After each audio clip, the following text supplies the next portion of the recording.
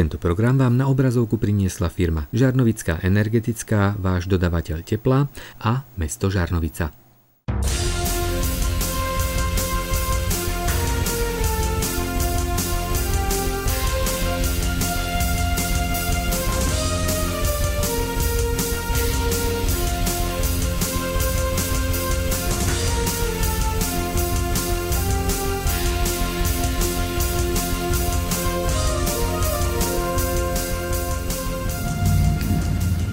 Kolegyne, kolegovia, dovolte mi, aby som vás privítal na dnešnom rokovaní Mestského zastupiteľstva s programom, ktorý vám bol doručený.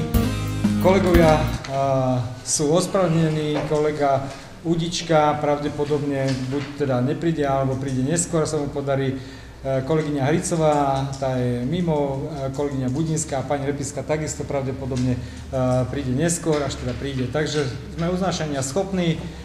Takže môžeme teda začať eh, dnes rokovať. Eh, máte pred sebou program dnešného rokovania, poprosím vás, eh, Mestská rada odporúčila tento, tento program zastupiteľstvu schváliť, tak ako je predložený. Poprosím vás, budeme hlasovať o programe, ktorý máte v materiáloch pri sebe. Poprosím vás, hlasujeme o programe rokovania.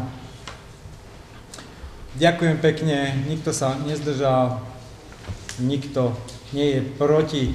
Uh, chcem ešte poprosiť teda, aby sme boli vecní, lebo kolegyňa uh, pani poslankyňa Šmondrková upozornila, že má tiež nejaké uh, povinnosti, takže už to neplatí. Dobre, dobre, tak keď to neplatí, tak môžeme, môžeme teda rokovať. Dobre, má niekto nejaký pozmeňujúci návrh do programu rokovania? Pokiaľ nie, budeme teda pokračovať podľa tohto programu. Voľba návrhovej komisie a mandátovej komisie. Eh, návrhovú komisiu navrhujem, aby pracovala v zložení eh, pán poslanec eh, Černák, pán poslanec Valo a pán poslanec Obrtlík. Toho prvého už ako obvykle navrhujeme teda ako predsedu, pokiaľ by ste sa rozhodli ináč, že to, je to na komisii. Máte niekto nejaký iný návrh, doplňujúci návrh? Pokiaľ nie, nechám teda hlasovať o zložení návrhovej komisie, tak ako som predniesol, poprosil, zhlasujeme, kolegyne, kolegovia. Ďakujem. Nikto sa nezdržal, nikto nie je proti. Mandátovú komisiu navrhujeme pracovať zložení pani, e, pani viceprimátorka Kazimírová, pán poslanec Vojtko a pán poslanec Balko. Máte nejaký iný pozmeňujúci návrh? Pokiaľ nie, nechám teda hlasovať návrhu mandátovej komisie tak ako, e, v zložení tak, ako som ho predniesol. Poprosím vás, hlasujeme o mandátovej komisii. Ďakujem pekne, nikto sa nezdržal, nikto nie je proti. Za overovateľku zápisnice e, za overovateľa zápisnice navrhujem uh, pána poslanca Balku. A za zapisovateľku určujem pani, alebo slečnu Šmodrkovú, pretože pani Repiska zatiaľ teda neprišla. Dobre, uh, to máme z procedurálnych otázok všetko. Uh, druhý bod máme predložený, to sú investičné zámery mesta, tak ako ste to dostali uh, v materiáloch. Tento materiál predkladá pani vedúca oddelenia výstavby, investícií a životného prostredia. Pani vedúca, nech sa páči, máte slovo. Ďakujem. K bodu číslo 2.1 predkladám Mestskému zastupiteľstvu na schválenie investičný zámer s názvom Kúpa a obnova obchodnej budovy, súpisné číslo 52 na pozemku parcelné číslo CKN 2543 lomeno 1 v katastrálnom území Žarnovica. Dôvodom odkúpenia objektu súpisné číslo 52 na pozemku parcelné číslo 2543 lomené 1 je poskytnúť miesto obyvateľom miestnej časti Lukavica na neformálne stretávanie obyvateľov, poslancov pre kultúrno-spoločenské akcie, voľby a podobne. Objekt slúžil ako obchod a kultúrny dom, bol postavený asi ešte v 50. rokoch 20. storočia. Ide o jednopodlažný objekt s valbovou strechou, Objekt je napojený na elektrickú energiu, na miestny vodovod, kanalizácia je odvedená do septiku. Dažďové vody sú odvedené na terén. Fasáda je z troch stran upravená fasádnym náterom, štvrtá strana je opatrená ešte pôvodnou malbou, Na niektorých miestach táto malovka už opadáva. Objekt nie je zateplený. Strecha je s keramickou krytinou. V terajšej dobe už dochádza k rozpadu jednotlivých škrydiel z dôvodu končiacej sa ich životnosti. Postupne sú poškodené škrydle jednotlivo vymieňané, ale aj v dobe obhliadky by bolo potrebné niektoré poškodené škrydle vymeniť. Na streche je bleskozvod a s dvomi, e, s dvomi zvodmi a uzemnením. Dvere vonkajšie aj interiérové a okná sú ešte pôvodné drevené. Na vonkajších dverách a aj oknách sú viditeľné netesnosti, cez ktoré uniká teplo.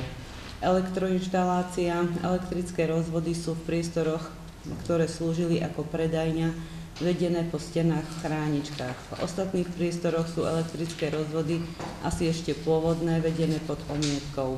Vnútorné steny sú opatrené omietkou a malbami, v sociálnych zariadeniach sú steny opatrené keramickým obkladom. Malby stien boli už realizované pred mnohými rokmi.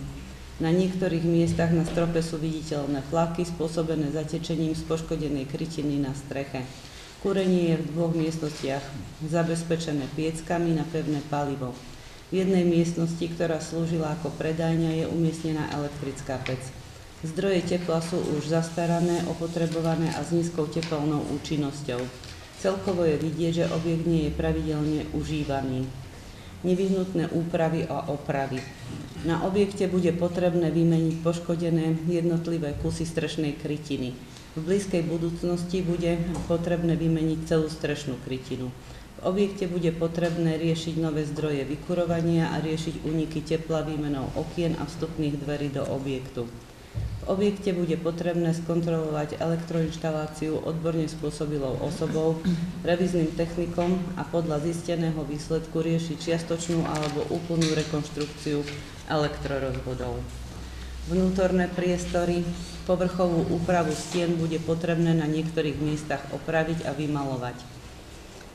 Záverom, po základných úpravách by bolo možné objekt so značným obmedzením nárazovo a krátkodobo užívať. Pre pravidelné a dlhodobé užívanie, ale so zníženým štandardom, bude potrebné realizovať nevyhnutné opravy strechy a prípadne priestory aspoň vymalovať. Pre zvýšenie štandardu užívania bude potrebná celková rekonštrukcia objektu vrátane zateplenia. Všetko. Ďakujem pekne ktorí viete, ktorí neviete, ktorí ste členovia e, vecnej príslušných komisí, takáto požiadavka prišla zo strany aj tých občanov a samozrejme aj z našej, zo strany našej kolegyny, ktorá tu momentálne je prístup, e, prítomná, pretože KOP e, jednota odpredáva tento objekt, ten objekt je, je proste ich vlastníctvom, je, je ich požiadavka pôvodná bola teda, alebo teda celková požiadavka je Eh, na, na sumu 120 tisíc. Eh, ja teda eh, som absolvoval rokovanie asi dvakrát, kde sme sa snažili nejak tú cenu znížiť. My tú cenu vlastne nakoniec teda bola akceptovaná naša ponuka, že maximálne teda do tých 100 tisíc. Na, nakoľko teda som bol oslovený znovu pánom predsedom, teda či e, na nejaké konkrétnejšie rokovanie už teda môžeme prísť e, k tomu, tak áno, e, bol som, zúčastnil som sa, tak potvrdil takýto záujem. Samozrejme, že sú tam ešte veci, ktoré, ktoré nevyhnutne budú sa musieť riešiť, tak ako to bolo stručne popísané, ale predmetom samotnej kúpy a predaja tak, tak či tak to bude samostatného kúpnou zmluvu, ktorú budete musieť schváliť, pretože sú tam veci, ktoré budú tam musieť byť doložené, pretože vy teraz by ste schválili len investičný zámer na kúpu a samozrejme, že konkrétna podoba tej zmluvy e, bude musieť byť tam doplnená. To znamená, že také konkrétnejšie otázky, pripomienky, ktoré budete mať, e, tak e, možno pri tom vyšpecifikovaní tej zmluvy alebo teda tohoto znenia tej kúpnej zmluvy, ktorá bude predmetom rokovania na zastupiteľstve nadchádzajúcom, pretože tam už budú konkrétne stanovené podmienky, tam, tam už by mala byť uh, nejaká, nejaká uh, podrobnejšia správa toho objektu a samozrejme, že uh, aj my, aké riešenia tam budeme musieť v krátkej dobe spraviť. Ja som preto zareagoval pozitívne na tú petíciu tých obyvateľov, ktorí tam spísali a bola teda mi doručená cestou vašej kolegyne, kde sa podpísali tí miestni občania, že teda to je jediný priestor pre nejaké také komunitárne stretávania sa, je to jediný priestor, ktorý, ktorý doteraz mohli takýmto spôsobom využívať, lebo v minulosti tam bol odpredaný ten objekt školy.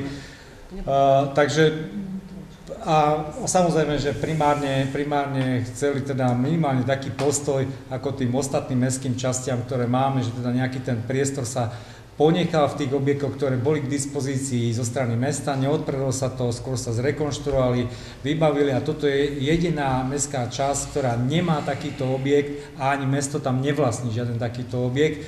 Tak preto ja som povedal, že áno, rozumiem ich nejaké požiadavky, samozrejme, že to bude vec na ďalšie, ďalšie rokovania, pretože toto moja kompetencia nie je, ale ja cez to všetko hovorím, som spravil nejaké kroky, aby sme boli úspešní pri tom, aby sme mohli odkúpiť túto nehnuteľnosť.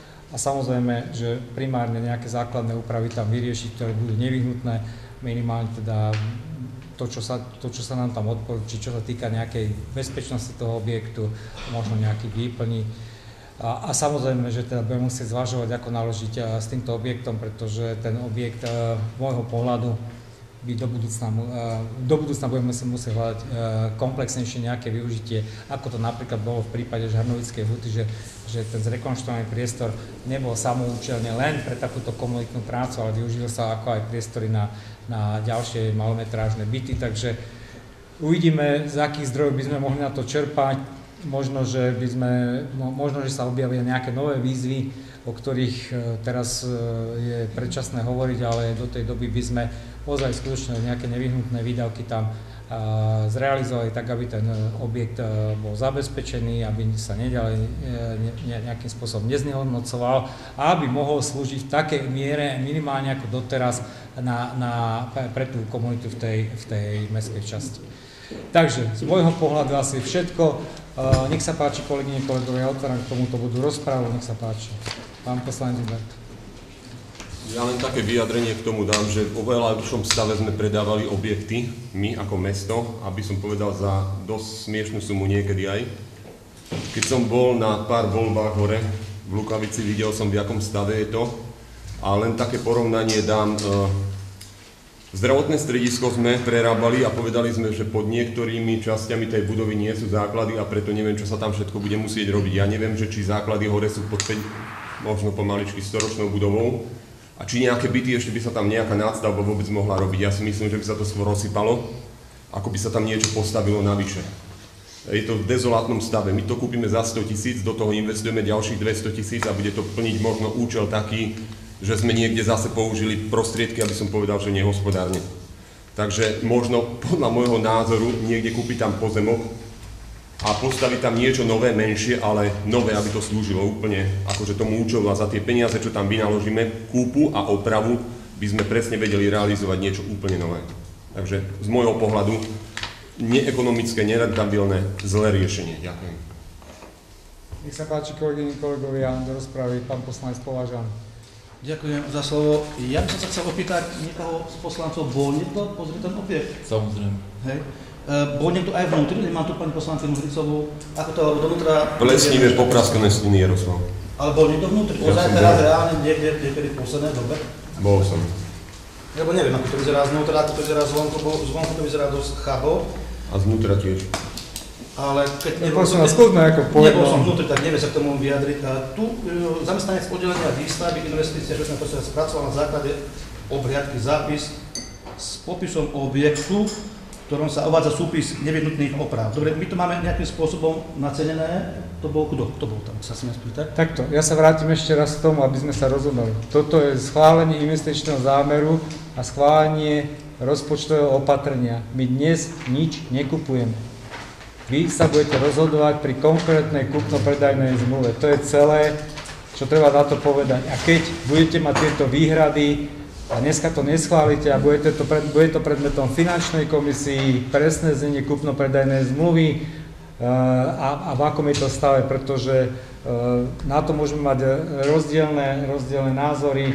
Uh, škoda, že tu nie je pani kolegyňa z, zo Žarnovickej huty, pretože neviem, či sú tam plesne, či je to v takom stave, tá, pardon, z Lukavici, či sú tam také stavy, pretože oni to, to zariadenie naďalej využívajú, dodnes ho využívajú a nemyslím, že, že, sú tam, že sú tam nejaké plesne, pretože tam, čo som videl, pod tú petíciu sa podpísali všetci tí ľudia, ktorí žijú v tej hornej časti a samozrejme aj tí členovia toho občanského výboru, ktorí tam organizujú tieto činnosti.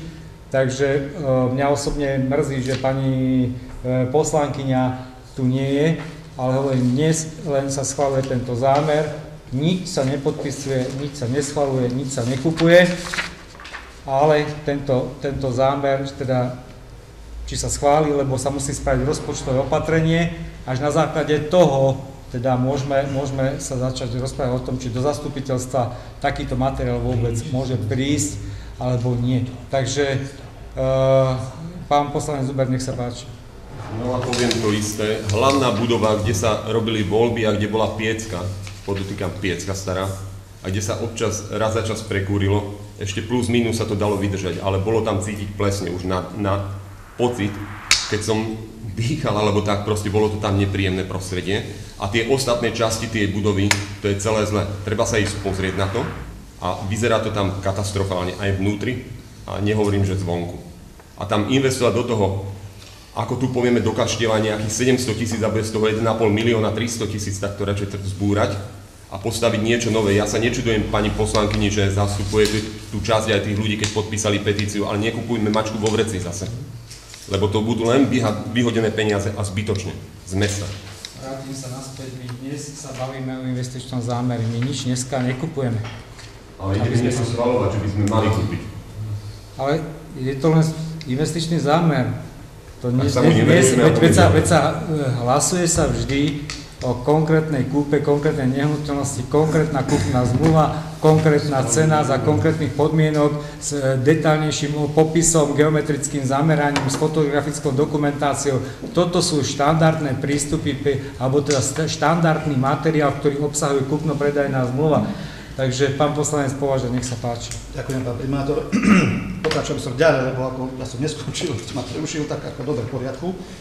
Ehm, je to podrokovania, hej, takže o tom sa rokuje a ja ak mám nejaký zázor a chcem ho prejaviť na zastupiteľstve, tak hádam, to mám právo, to si myslím, že akože je moje právo. Ďakujem. No, ide o to. Ja som to pozeral zvonku, bol som aj človekom, ktorý sa troška toho stavebníctva vyzná a ten mi povedal jednoznačne, hej, že 50 tisíc e, dvere, okna, strecha, ako hneď, hneď sú preč.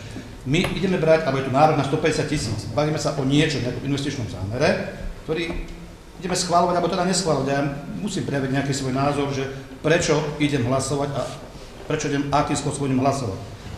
Mne osobne sa vidí, že táto investícia 150 tisíc, ktorú chceme teda dať, alebo teda zobrať na to nejaký, nejaký úver, je určite nedostačujúca, e, bude to určite viacej. Toto je, toto je, preto sa spýtujem, či tam je nejak, niečo, niečo máme nejaké, nejaké znalecké posudky alebo nejaké odborné vyjadrenie, k tomu nemáme nič. Dobre, to mi stačí ako, však sme tam v tom prípravnom konaní takzvanom. Idem ďalej, dobre, je to e, parcela CKN 2543 lomeno 1 o výmere 242 m štvorcových a vedľa toho kupujeme parcelu 2544 o výmere 704 m štvorcových, čo teda nadvezujem tu na uh, pána kolegu Uberta. V podstate uh, my vedľa máme parcelu, ktorá susedí vlastne to je tiež ako patrí jednote, kde my skutočne vieme postaviť oveľa krajšiu budovu, a ktorá pretrvá ešte mnoho, mnoho, mnoho rokov. A ja som si pred zastupiteľstvom zisťoval nejaké teda, nejakú cenovú ponuku hrubou, alebo drevodomov, alebo podobného, kde e, konkrétne e, mi povedali, do 120 tisíc vieme postaviť krásny dom, ktorý bude slúžiť ešte našim vnukom alebo vnúčkam. Ja som veľmi rád a podporujem mesto v tomto zámere, že chcú nejakým spôsobom tých občanov Lukavice eh, vytvoriť nejaké podmienky na nejaké stretávanie, nejaké kultúrne akcie. Ja s tebou maximálne súhlasím, ale ekonomicky, či toto je výhodné, kúpiť starú budovu a do nej niečo investovať s neistým koncom, či tam 150 tisíc alebo 200 tisíc, keď sú tu aj iné možnosti. Ja si osobne myslím, že keby sa rokovalo uh, o kúpe tých vedľajších pozemkov, neviem, akým spôsobom prebieha to rokovanie, tak asi sa rozvieme, Eh, chceli predať všetko v kope iba, alebo hm, dalo sa s nimi dohodne o, o časti. Zrejme asi chceli všetko v kope predať, V každom prípade, je tam 704 m štvorcových vedľa. Dá sa dá budova, ktorá teraz momentálne má 240 m štvorcových, krásne postaviť ešte aj z nádory, ešte aj z ten, ten pán, čo sa s ním rozprával na tých, to je to drevodomy, čo stavia, ešte povedal, že by spravil vizualizáciu, a možno, že mám už aj na maili, kde povedal, že už takýto má skúsenosti, že robia obecné zabíjačky, že my spraviť ešte vedľa toho nejakú prístavbu a bolo to za 112 tisíc a on mi tú cenovú reláciu bude poslať záväznú, aby teda bol nejaké záujem potom do budúcna. No, ja osobne s týmto nesúhlasím. Podľa mňa kupovať starý dom je ako keby som tých uh, Lukavičanov mal za nejakých druhotredných občanov, lebo ja som tam vnútri nebol, ale uh, zvonku to vyzeralo strašne a to vyzerá zvonku ako znútra, no, ako neviem, či sú to dostatočne dôstojné priestory pre nich, lebo určite sa stretávajú aj deti, alebo čo, som tam ja bol na ktorých stretnutiach, tak tam boli aj deti a neviem, či to je tam vhodné. Takáto investícia. Môj názor. Možno o, môžu mať... E, ja krátkosti, len v krátkosti na to zareagujem. E, tá ponuka bola v celisto, e, celistvosti a, a dnes sú rôzne grantové, grantové možnosti na získavanie, pretože ten projekt je tam, teda ten pozemok je tam, je tam teda väčší a do budúcna e, možno multifunkčný objekt z toho, pretože stavať samostatný objekt, nejaký kultúrny dom pre mestskú Žarnovicu, pre mestskú časť Lukavica je ekonomický nezmysel, pretože prevádzkové náklady pre komunitu na prevádzku samotného nového objektu, ktorého financovanie ani doteraz nevieme e, nejakým spôsobom zabezpečiť, tak je to veľký problém. Veľký problém pokiaľ nenájdeme nejaké iné riešenie multifunkčného objektu, ako sme našli v Žarnovickej hute. Takže teraz e, sa vrátim k tomu, že áno, tieto možnosti sú, napríklad sú, sú, sú uh, už možnosti uh, tzv. podporovaní bývaní.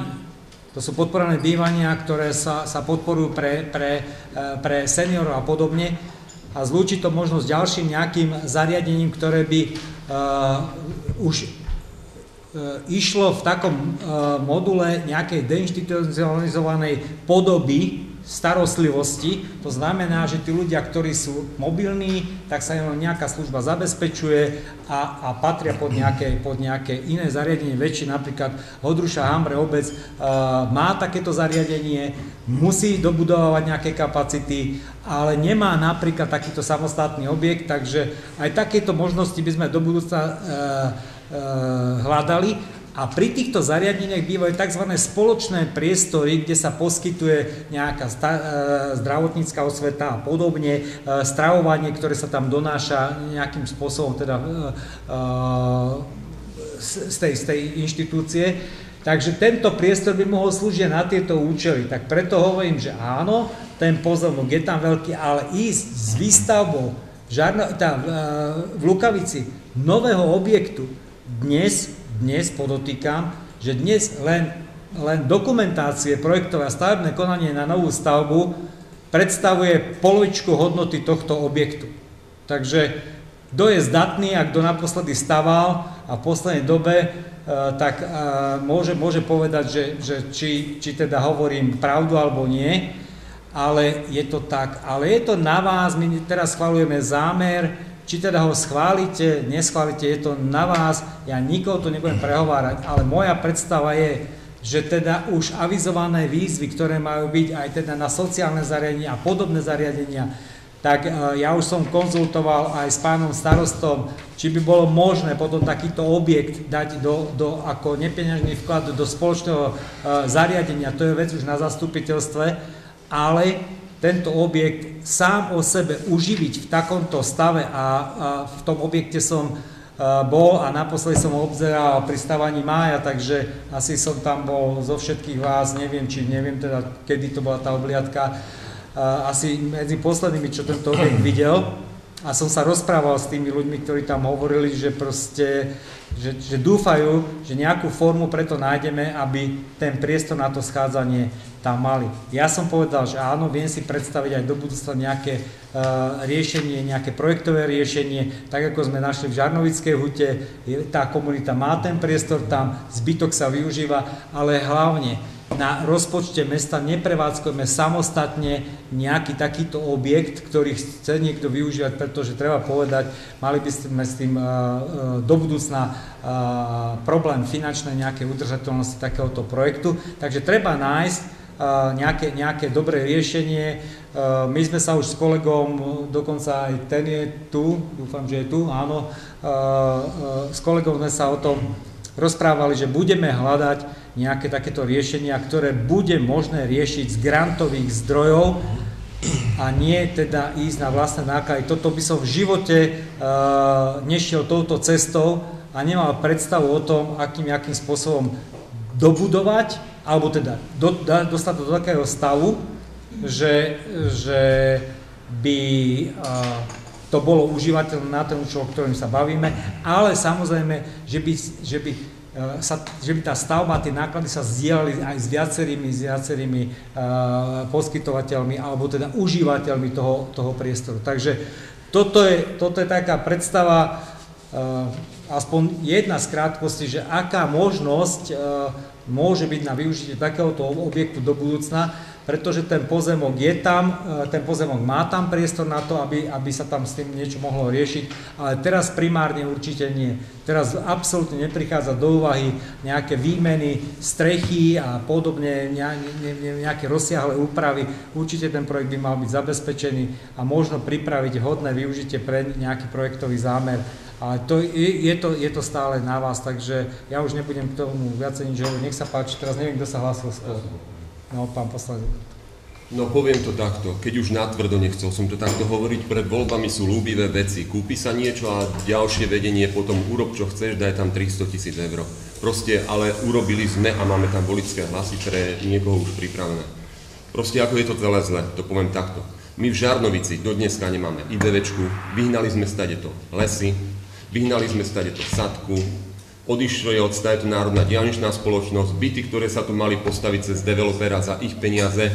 Robíme všetko preto, aby sa to neurobilo. My tu máme problémy s vodou, my tu máme toľko problémov v tomto meste a toľko problémov a pre všetkých občanov, že ja by som investoval peniaze, čo i len 100, 200, 300 tisíc úplne nejakým iným spôsobom a na iné projekty. A keď už v tej lukavici podotýkam, nech to stavebné povolenie trvá aj trošku viacej a bude stať peniaze, ale tu môj kolega tiež, Jaroslav povedal, bude to slúžiť potom niekoľko desiatok rokov bez absolútnych problémov aj s nejakou zárukou, a tu bolo na začiatku povedané, že nejaké byty sa tam majú stavať. Ja keby som tam mal statika a jak aj na zdravotnom stredisku bol a povedal, že tam, kde nie sú základy, no žiaľ Bohu, musíte ich spraviť, alebo tam dať nejaké pilotáže, no chcel by som vidieť na tie popraskané múry, čo som tam videl, že by tam niekto nejakú nadstavbu ešte povolil. Čo tam zostane? Obvodový múr, nejaký e, kameň, alebo čo je to postavené, to nie je ani stehly možno postavené. Čo tam bude? Proste zrútiť. Zrútiť, zrovnať, postaviť. To je, to je môj názor.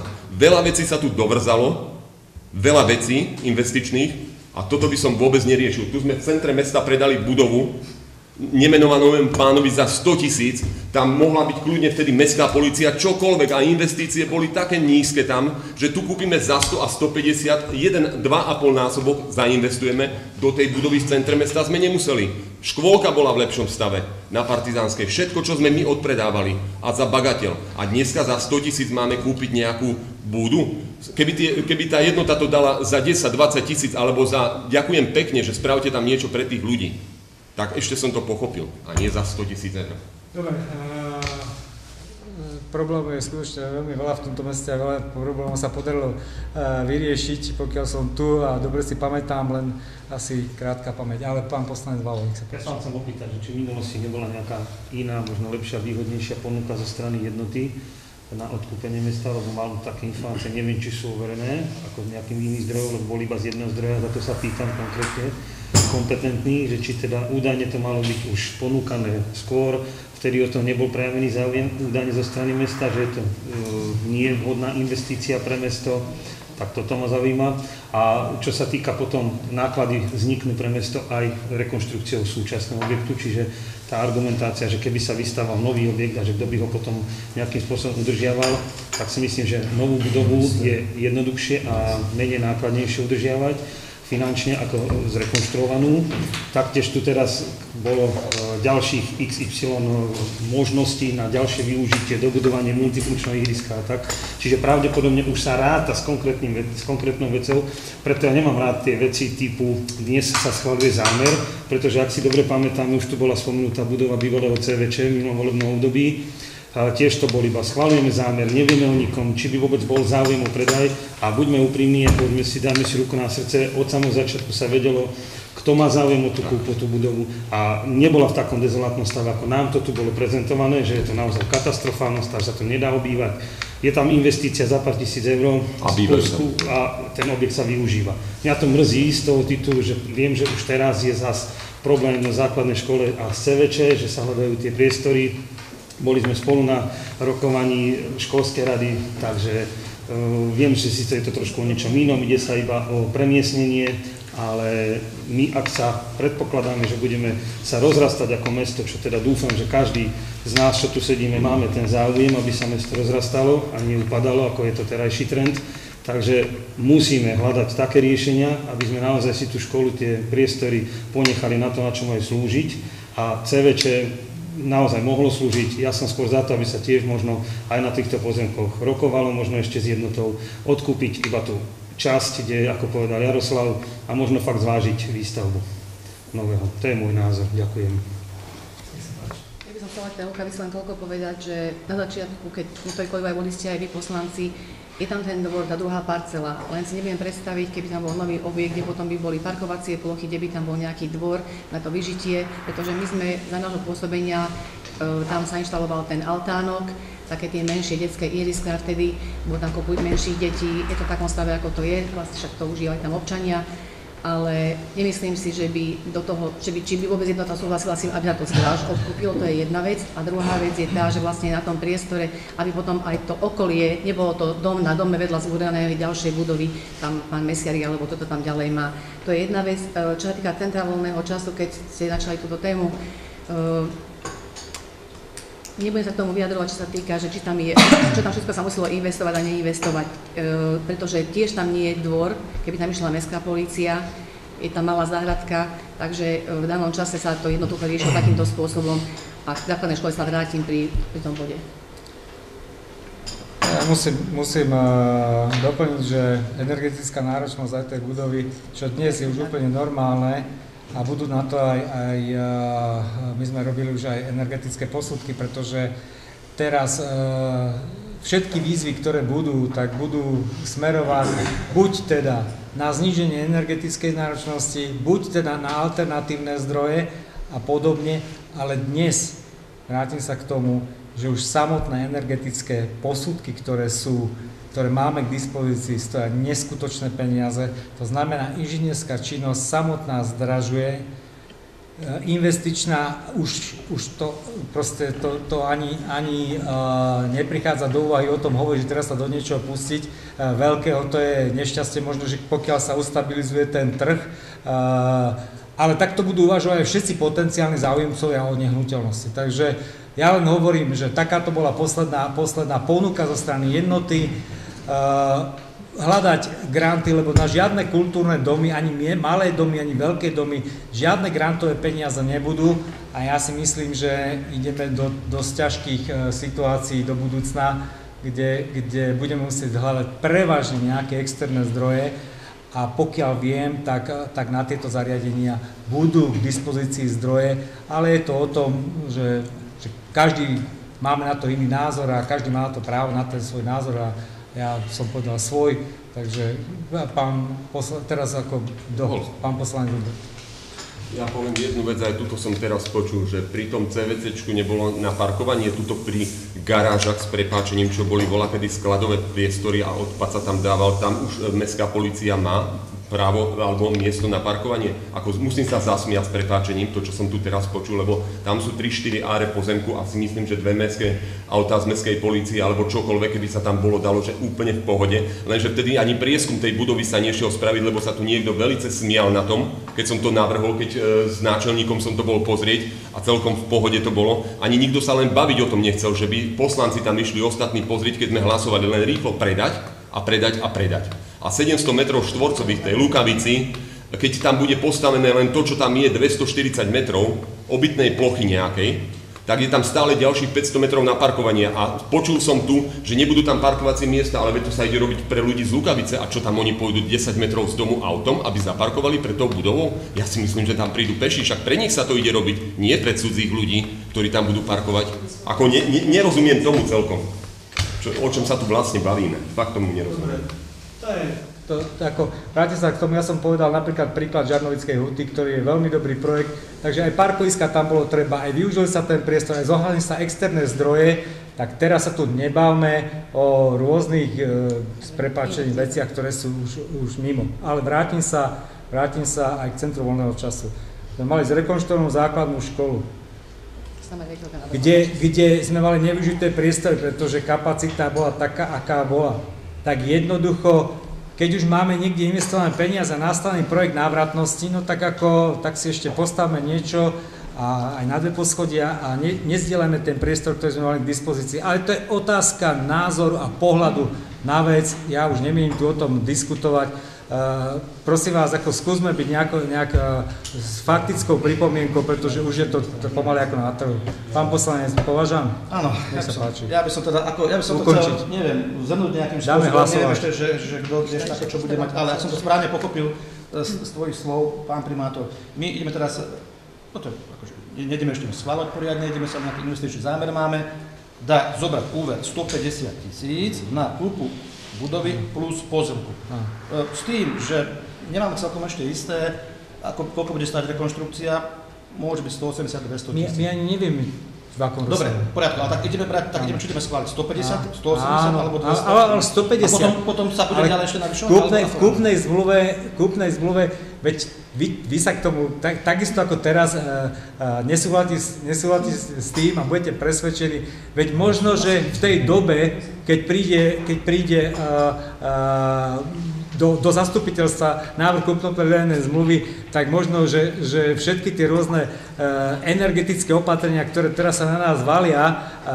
a, a rôzne iné opatrenia, tak možno, že to už bude úplne bezpredmetné. To je celé, čo som chcel povedať. Dobre. A je to na vás, keď poviete, keď poviete e, v septembri, Pán primátor, ale teraz je taká situácia, že dnes pomaly si kúpiť nový vysavač na liste je, je, je čistá sebevražda, pretože nevieme, či budeme mať na základné veci. Takže ja som len chcel tomu toľko a, a prečo takú diskusiu... Aby som no, ide, Dobre, nech sa páči. Ideme zobrať 150 tisíc, alebo teda 200 tisíc, neviem ešte koľko teda presne. A, dobre, zatiaľ. Podľa mňa jednoznačne, ja neviem, či niekto tomu verí, že takáto suma bude, podľa mňa určite nie. Ale dobre, je to názor váš, náš. A my teraz tvrdíme, ja teda tvrdím osobne, ja si myslím, že vybudovanie nejakej budovy, ktorá má 262 štvorcov, 242 štvorcov, takéto by nás vyšlo určite lacnejšie a bolo by to ekonomicky hospodárnejšie, ako keby sme kúpili túto starú budovu, ktorá, ja neviem, ani, ani som tam nebol vnútri, neviem, ako vyzerá, ja to zahlasovať nemôžem jednoducho. Ja tým občanom Lukavici prajem mať nejaké kultúrne priestory, kde by sa mohli stretávať, je tam pomerne silná tradícia v rámci tých rokov, že tam tí ľudia chodia ale nedám ich do starej budovy, z ktorej ja neviem ako vyzerá, za toto ja zahlasovať proste jednoducho nemôžem. Dobre, ešte uh, akým spôsobom sa tvorila tá cena toho, on len navrhol pán uh, Tužinský, pardon, uh, Pán predseda, pán predseda navrhol cenu 120 tisíc, že s takou teda rokujú, tak to ide aj cez realitky a cez nejaký predaj, neviem, kde to všade majú. Áno, to mali verejne zverejnené.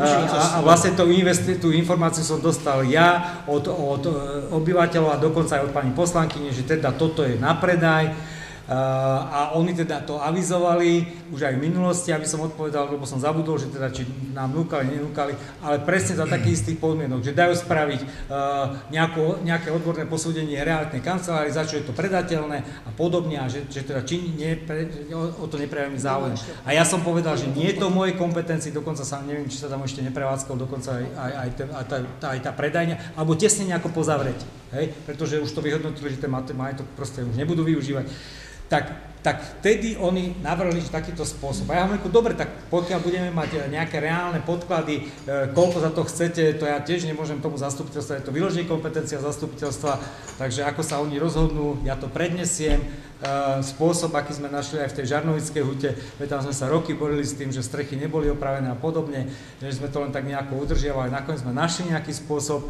na využitie.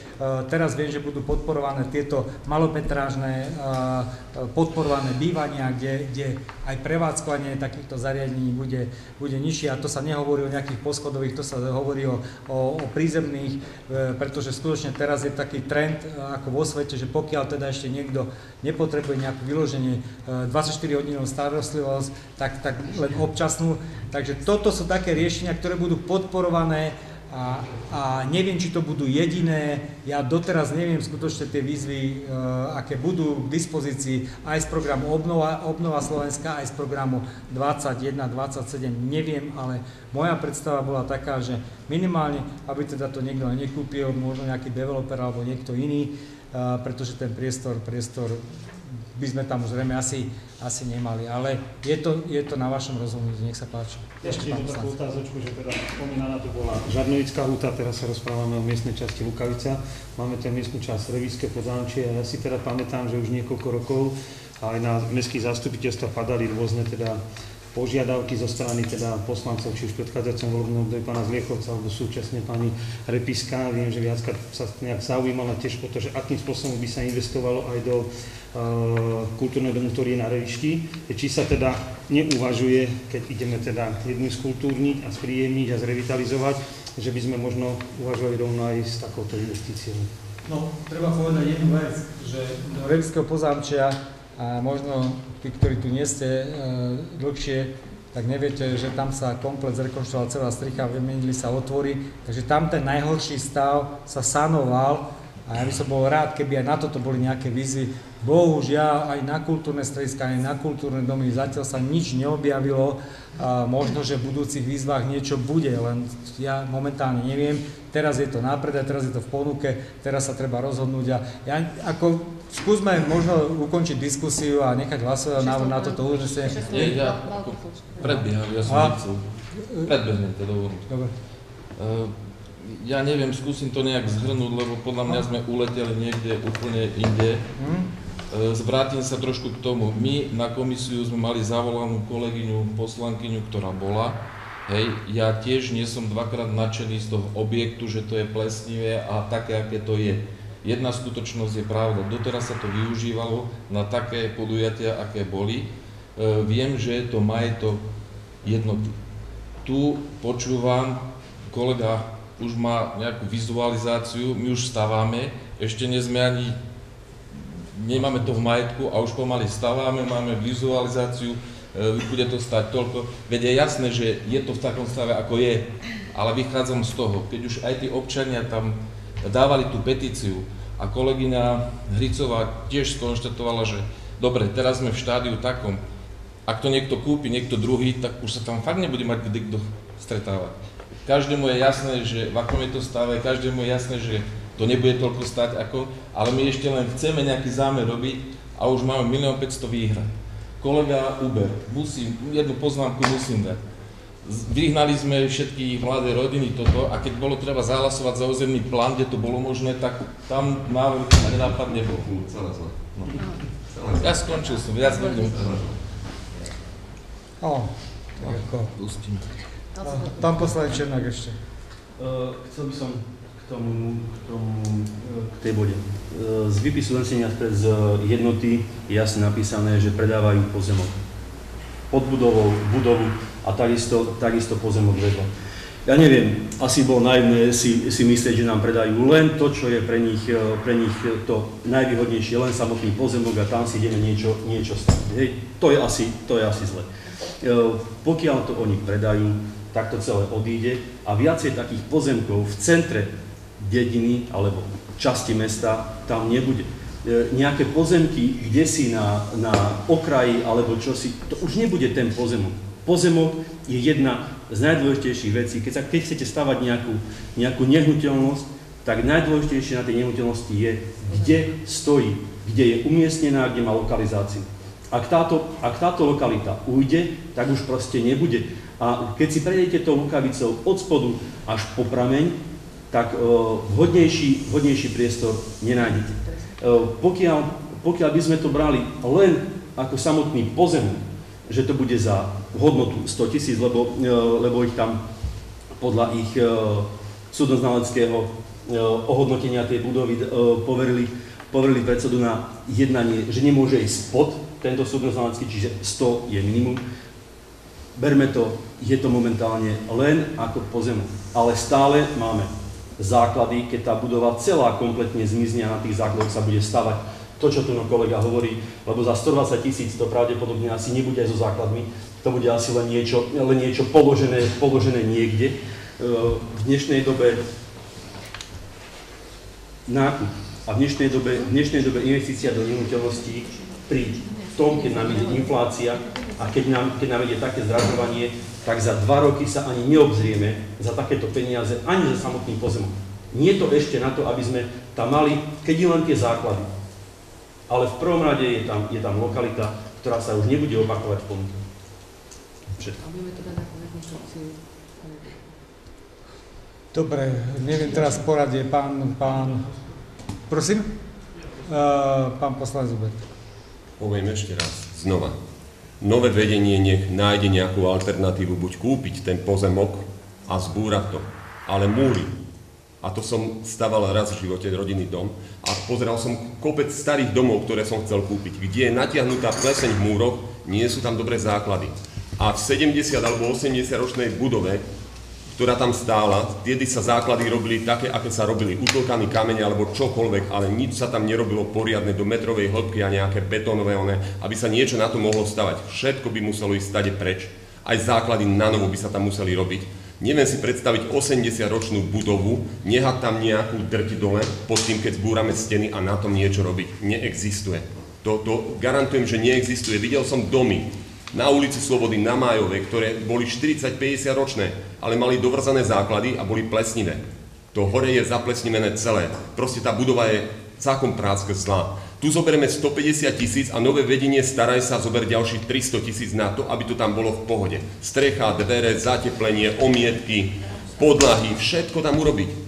A nové vedenie staraj sa, my sme boli za pekných, lebo sme to kúpili, alebo sme spravili zámer a nové vedenie staraj sa, urob. Teraz ty budeš za zlého, lebo my sme kúpili, my sme odsúhlasili a nové vedenie nemá 300 tisíc, aby to tam spravilo. E, môj názor, len takto.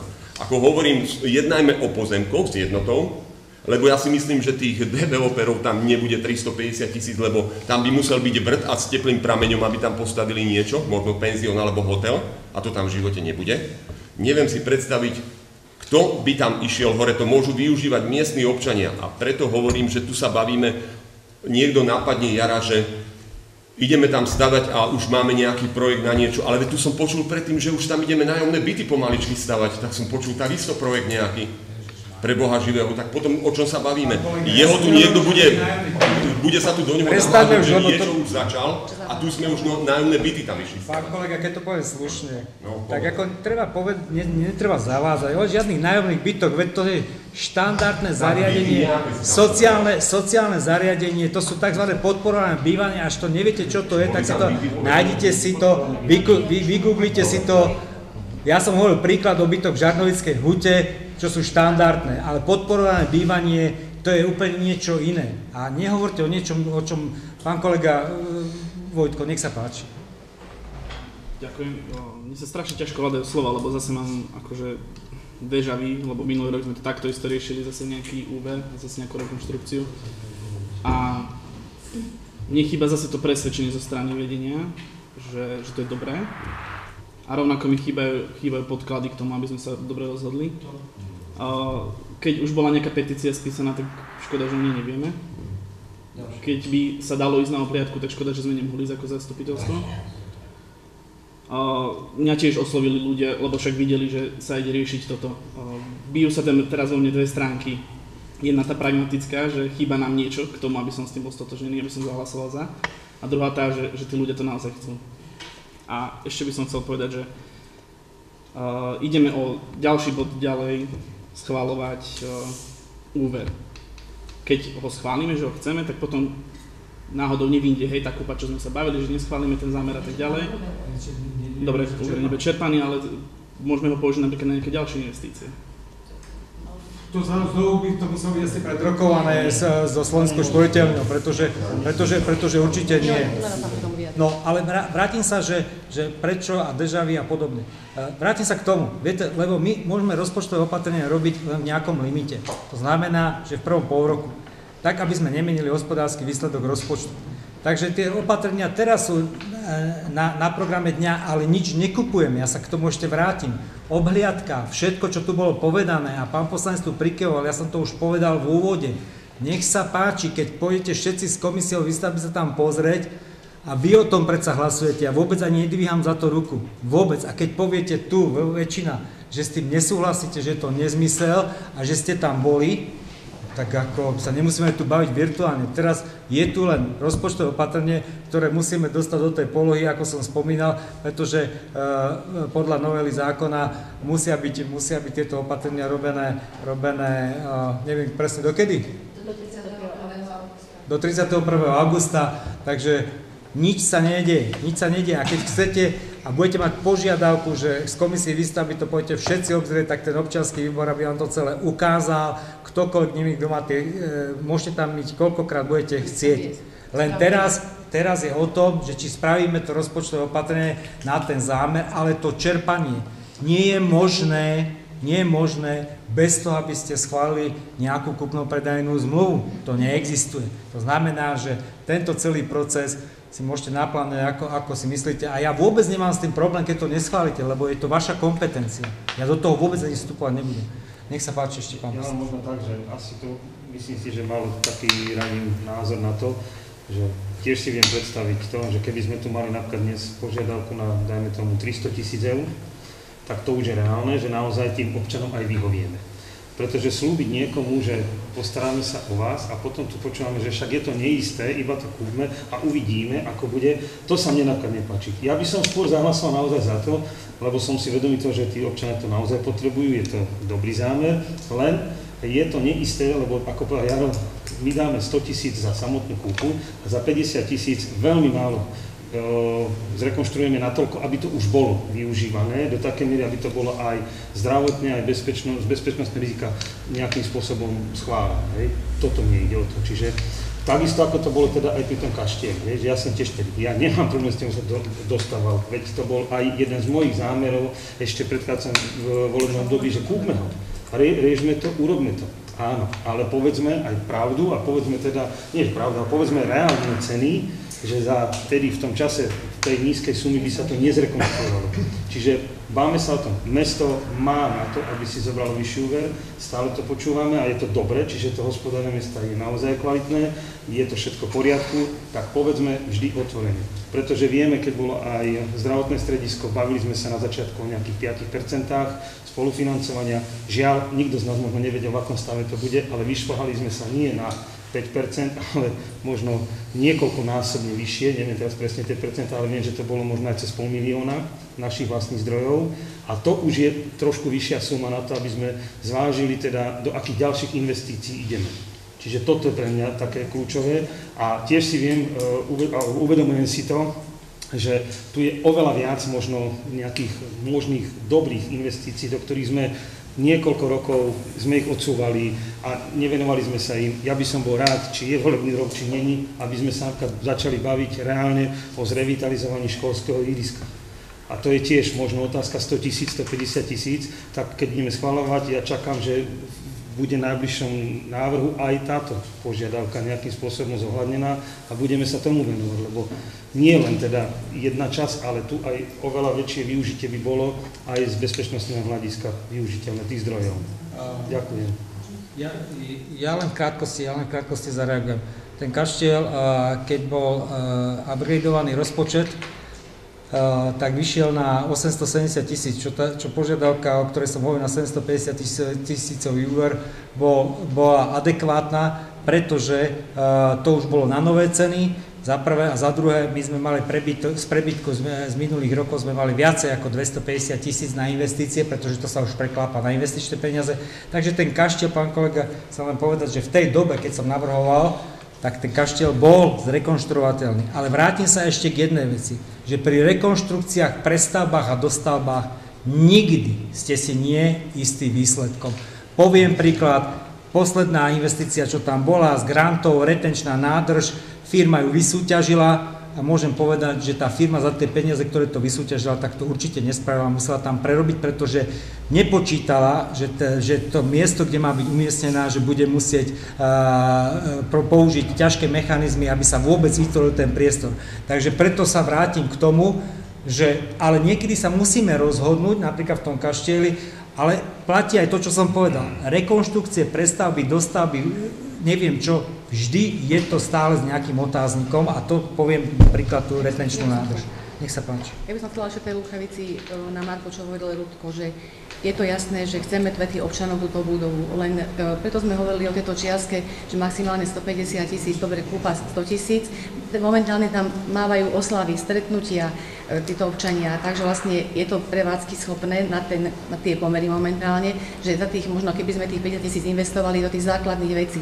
Ale prečo meniť teraz okná, možno strechu a neviem ešte ďalšie veci, ak teda budú výzvy, a ešte by sme s tou multifučnou budovou, kde vlastne by sme to mohli z zdrojov urobiť. Preto vlastne nie je to na spadnutie, zase tak to bolo až tak popísané. Chodím tam často hore, že jednoducho, keď sa, keď e, ono to je tak popísané, ako by to už bolo, keby som to nevidel, tak si myslím, že to je zajtra kde to padnú. Hej. E, ale tu ide, tu ide o to, že možno z vášho pohľadu, že sme to zle odprezentovali, ako to je volebný rok, to, je to beriem tak, že čokoľvek by sa dalo aj moderne z neba, tak to bude odprezentované zle u niektorých. E, tak to, toľko len na margo toho, ale že vlastne my ten investičný zámer z toho dôvodu, aby sme mali, keď chceme ísť chystať tú kúpnú zmluvu, tak musíme mať ako keby pre, nachystané tie peniaze za, za, zadu niekde, hej. Tak preto vlastne e, tento investičný zámer je to, je, to je celé. Opakujeme toto no už dve hodiny, alebo koľko pomaly, že, že točíme sa, točíme a tá podstata je vlastne v tom, že aby sme tú budovu teda kúpili, lebo ten pozemok, ako povedal kolega Černák, iný tam nekúpime. A pozemky, keby sme išli kupovať, tí, čo stavali dom, kúpali pozemky, samotný pozemok stojí koľko momentálne, obci Slacka napríklad 8 tisíc, 9 tisíc. To znamená, že to sú, také, to sú také ceny teraz pozemkov len. Prosím, prosím vás ešte, ešte raz a ja už vôbec sa k tomuto neviem vyjadrovať ani komentovať. Toto je, to týmto uznesením je len kúpenie si času voči jednote, aby ne, to nepredala, lebo koniec koncov vy v septembri môžete povedať ďakujeme pekne, nechceme, ale dovtedy môžu to predať čokoľvek. Toto je len kúpenie si času, aby sme vedeli, a vy, aby ste vedeli, že či to skutočne je využiteľné a vhodné za tieto peniaze. A keď v septembri poviete nie, tak ale ten čas si kúpime týmto, že sa schváli ten zámer. Nič iné, nič iné, aby bolo jasné, lebo dovtedy e, oni povedali, dobre, keď teda neprejavíte záujem, akýkoľvek teda aj, aj na detálnejšie e, pre, preskúmanie si a možno aj, aj s tou cenou, ale jednoducho oni povedali, tým pádom je to naďalej k dispozícii realitky, a toto je nič iné. Na, žiaden záväzok my nemáme v tomto momente, len si kupujeme čas do septembra. To je celé. Nech sa páči, ešte neviem, poradie, pán poslanec asi považan, alebo kto, alebo pán poslanec Dobre, ja, ja by som chcel na záver tomuto povedať, ako myslím, že nikomu z nás tu nejde o to, aby tí e, e, ľudia z Lukavice sa nemali kde stretávať. Určite my, aspoň teda, ja si myslím, že všetci tu máme záujem na tom, aby nejaké tie miestnosti tam priestory boli. Hej? Ale podľa mňa tento, tento, mm, e, tento to, čo ste nám tu predložili, tento bod programu je nespravený dobre. Chyba je tam kopec konkrétností a napríklad to, že bolo nejaké, nejaká, nejaká petícia, sa dozvedám až tu. Ja, to, to, to nám kľudne mohli ste nám poslať, že takéto niečo... Petícia, to nebola petícia, to bola ako keby žiadosť podpísaná tými občanmi. Ale nesplňalo to, nesplňalo to náležito. Ale to, to materiálo bola aj no. nie? No. Dobre, lebo nevedeli sme názor, ja potom si počujem názor tých ľudí, niektorým sa bol, ale nie so všetkými. Prečo by sme sa nemohli s nimi stretnúť, môžeme tam prísť, spraviť si obliadku budovy na hodinku, podebatovať s nimi toto, toto, toto. Pán kolega, ešte raz hovorím, týmto uznesením sa len získava čas. Toto všetko, čo hovoríte kolega, ktokoľvek sa tam bude prejaviť záujem, sa stretnúť s tým občianským výborom, nech sa páči, chodte tam, ja, bu- ja budem len veľmi rád, ale my nič iné nerobíme, len si kupujeme čas voči jednote, lebo on, on, my keď ne, nezaujímame žiadne stanovisko, že teda nemáme záujem, hej, no tak oni to nechajú zase voľne e, tej realitky v tej ponuke. A určite, keď by teda prišla nejaká lepšia ponuka, tak sa nemôžeme na nich hnevať, že to predajú, pretože oni sú obchodníci. Takže ja som nič iné nechcel s týmto získať si čas a vy, aby ste tam mohli ísť kedykoľvek, akokoľvek, s kýmkoľvek, s komisiou, s, s výstavbou alebo možno s nejakými svojimi ľuďmi, ktorí vám môžu lepší obraz dať, možno e, reálnejší v oblasti stavebníctva, že ako to vlastne vyzerá s týmto, s týmto, s týmto objektom. Nič iné. Ešte raz, my nič nekupujeme, ničomu sa nezavezujeme, jedine si získavame čas preto, aby ste sa mohli rozhodnúť a hotovo. A to máte, na, to, je, to je vyložené vaše právo, ja do toho nemám čo hovoriť viacej. Pán poslanec, nech sa páči. Ja poviem znova len jednu vec, ale fakt ma počúvajte teraz veľmi dobre. Keď ja dneska dám zelenú tomu a niekto to tu doniesol do mesta a povedal, toto je môj návrh a poslanci to schválili a v septembri dáme tomu stopku, tak ten dotyčný zase povie, veď ja som občania chcel, aspoň ma podporte, dajte mi hlasy, veď to oni tam zbrzali v tom zástupiteľstve celé. A keď už idem budovať e, e, tam za 50 tisíc niečo, ak niekto povie, že nacapme tam nejaké okná dvere. V prvom rade strecha sa musí urobiť, aby do tej budovy napríklad nezatekalo, lebo darmo tam dám nové okná a nové dvere, keď mi povykrúca a neviem čo všetko. Takže ten úver 150 tisíc nadvezuje ďalší úver, lebo keď to raz aj odobríme, alebo sa to už len kúpi, tak sa tam investovať do toho bude musieť, lebo tí občania to následne budú chcieť, aby sa investovalo. Takže ono to nadvezuje na seba. Neviem, ako ja s týmto sa nemôžem stotožniť. Nevidel som ani ten návrh, ani to, tu sa prezentuje petícia, potom nejaké podpisy. Všetko je len tak, aby rýchlo sme to spravili nejakého mačkopsa, potom ho chytili za one, za chvost a nebude to ani štekať, ani brechať, ani mňaukať, ale bude to robiť niečo úplne iné. Ja ešte pre kolegov, aby si podali materiály bod 4, 4, 4, 3, je tam to, je to materiál tá žiadosť teda, týma to navrhla síce petíciu, tam sa viacerí podpísaní, ale je to zváženie odkúpenia budovy jednoty mestskej časti Lukavica, takže materiál to je na marku toho, čo sa pýtal, že si o tom nevedel. Ja si pozrieť úplne tie, tie materiály, ktoré tam sú k dispozícii, ale hovorím, týmto my nič iné nerobíme, len si kupujeme čas a týmto zámerom, ale nech sa páči. Dobre, uh, po, až teda by už nikto nemal do rozpravy žiaden, uh, žiaden uh, príspevok, Môžem teda ukončiť? Ešte, pani vedúca. Ja som sa dozvedela len teraz takú informáciu, že v tejto budove je aj zariadenie mestského rozhlasu. A to len ako pre úplnosť informácie. Takže máme tam zariadenie, ktoré zrejme sa nedá toho času umiestniť niekde inde. Dobre. Uh, uh, ďak, ďak, ďakujem pekne. Nehlási sa už nikto do diskusie k tomuto bodu. Môžem teda uzavrieť diskusiu. Ďakujem. Nechám teda hlasovať návrh na uznesenie tak, ako je uvedené v texte. Poprosím vás, hlasujeme.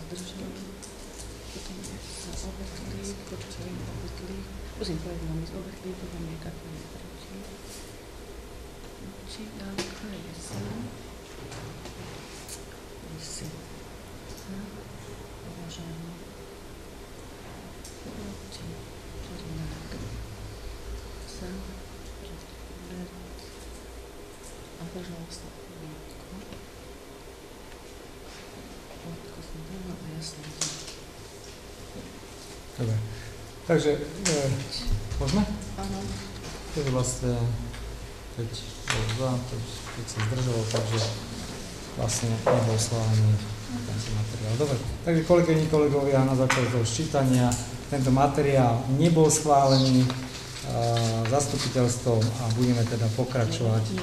Bol schválený, vedie 5, 3, 2. A sa zdržali dvaja. No, no áno, ale sú 9 prítomní a 5 hlasovali Ja, pardon, pardon, nie, nie, ešte. Ďakujem, ďakujem, že, že dávate pozor na mňa, pretože myslel som si, že je rovnaký počet, ale medzi tým teda ešte prišla kolegyňa ja Repiska. Ja, ja sa ospravedlňujem, ospravedlňujem sa, e, bol teda prijatý, ja bol prijaté toto uznesenie. Ja by som ešte kolegom chcela povedať no. tým, ktorí hlasovali za, že aby nemali pocit, že sme ich do niečoho zaviedli, ako to bolo niekoľkrát už povedané, bolo, bolo povedané, že uh, Čo? Považná Šmodrková Uber bolo červená chatička, hej? Áno. Áno. Koľko je to? A, 9 či 10? To je 5 5 Aha, tak potom 5 5 potom naozaj nie. No, tak ako... Dobre, už som si myslel, že mám problémy a výpadky, takže uznesenie nie je schválené, takže je to tak, pani kontrolka, ako, ako, ako som to chcel. Nie, nie, pani, pani kolegy, pani poslankyňa prišla, takže je to, je to, je to neschválené uznesenie. Tak potom budem Takže platí to, čo prvé som povedal. Dobre, takže kolegyni, kolegovia, budeme pokračovať ďalej a to prejdeme k bodu číslo 3.1. Teda 3.2? Nie, 2.2. Je 2.2, pardon, pardon, pardon, pardon. Investičný zámer obsahu, e, obstaranie syntetickej ľadovej plochy a inštalácie na multifunkčnom ihrisku v areáli základnej školy. Tento materiál taktiež predkladá pani inžinierka Donovalová, vedúca oddelenia výstavby, investícia životného prostredia. Pani vedúca, nech sa páči. K bodu číslo 2.2 predkladá Mestskému zastupiteľstvu na schválenie investičný zámer, obstaranie syntetickej ľadovej plochy a jej inštalácia na multifunkčnom ihrisku v areáli základnej školy. Investičný zámer Mesto Žarnovica sa v programe hospodárskeho rozvoja a sociálneho rozvoja mesta Žarnovica zaviazalo rozvíjať športovú infraštruktúru. Vzhľadom na skutočnosti, ktoré spôsobili dočasne pozastavenie realizácie obnovy mestského športového areálu, predpokladaná výška nákladov na výstavbu multifunkčnej haly a maximálny objem dostupných zdrojov z externého financovania, vedenie mesta aktuálne na základe podnetov občanov z minulosti zvažuje zakúpenie syntetickej ľadovej plochy a jej inštaláciu na multifunkčnom ihrisku v areáli základnej školy. Klzisko o rozmeroch cca 300 m štvorcových by poskytovalo možnosť pohybových aktivít pre 75 korčuliarov súčasne. Súčasťou klziska by bola aj požičovňa korčul s cca 160 pármi. Aktuálne bol vykonaný jednoduchý prieskum trhu. Minimálna cena nových klzisk s mantinelmi je cca 75 tisíc eur. Použité klzisko so zárukou minimálne 5 rokov je v minimálnej cene cca 68 400 eur. Podrobnejšie môže porozprávať v prípade záujmu kolega Hudec, ktorý je tu. Dobre. Uh, nech sa páči, pán kolega, chcete k tomu ešte bližšie alebo až na dotasy uh, v rozprave? Um, môžem, môžem pár viet bližšie. bol som teda poprosený vedením mesta, aby som vykonal taký jednoduchý prieskum trhu, že teda v jakých cenových kategóriách sa takéto ľadové plochy nachádzajú. Identifikoval som 5 potenciálnych dodávateľov s tým, že boli tam slovenské firmy, ale zároveň tam boli aj firmy zo zahraničia. Tie ceny sa pohybujú v tých eh, reláciách, ako bolo, ako bolo uvedené. Ešte dnes mi došla teda, teda ďalšia cenová ponuka, eh, ktorá je trošku nižšia, alebo možno som povedal, že podstatne nižšia. Táto však zahrňa len, len eh, samotné, samotné pozisko, to znamená, nie sú k tomu mantinely, nie je k tomu žiadne príslušenstvo. Tam sa tá cena vlastne v, te, v tej dnešnej ponuky pohybuje e, v okolo 75 eur za meter štvorcový, kde by teda celková cena vychádzala, vychádzala okolo 50 tisíc. Priznám sa, asi nikto z nás nie, nie je odborník na, na syntetické ľadové plochy, ale um, z tých informácií, čo som mal možnosť zistiť,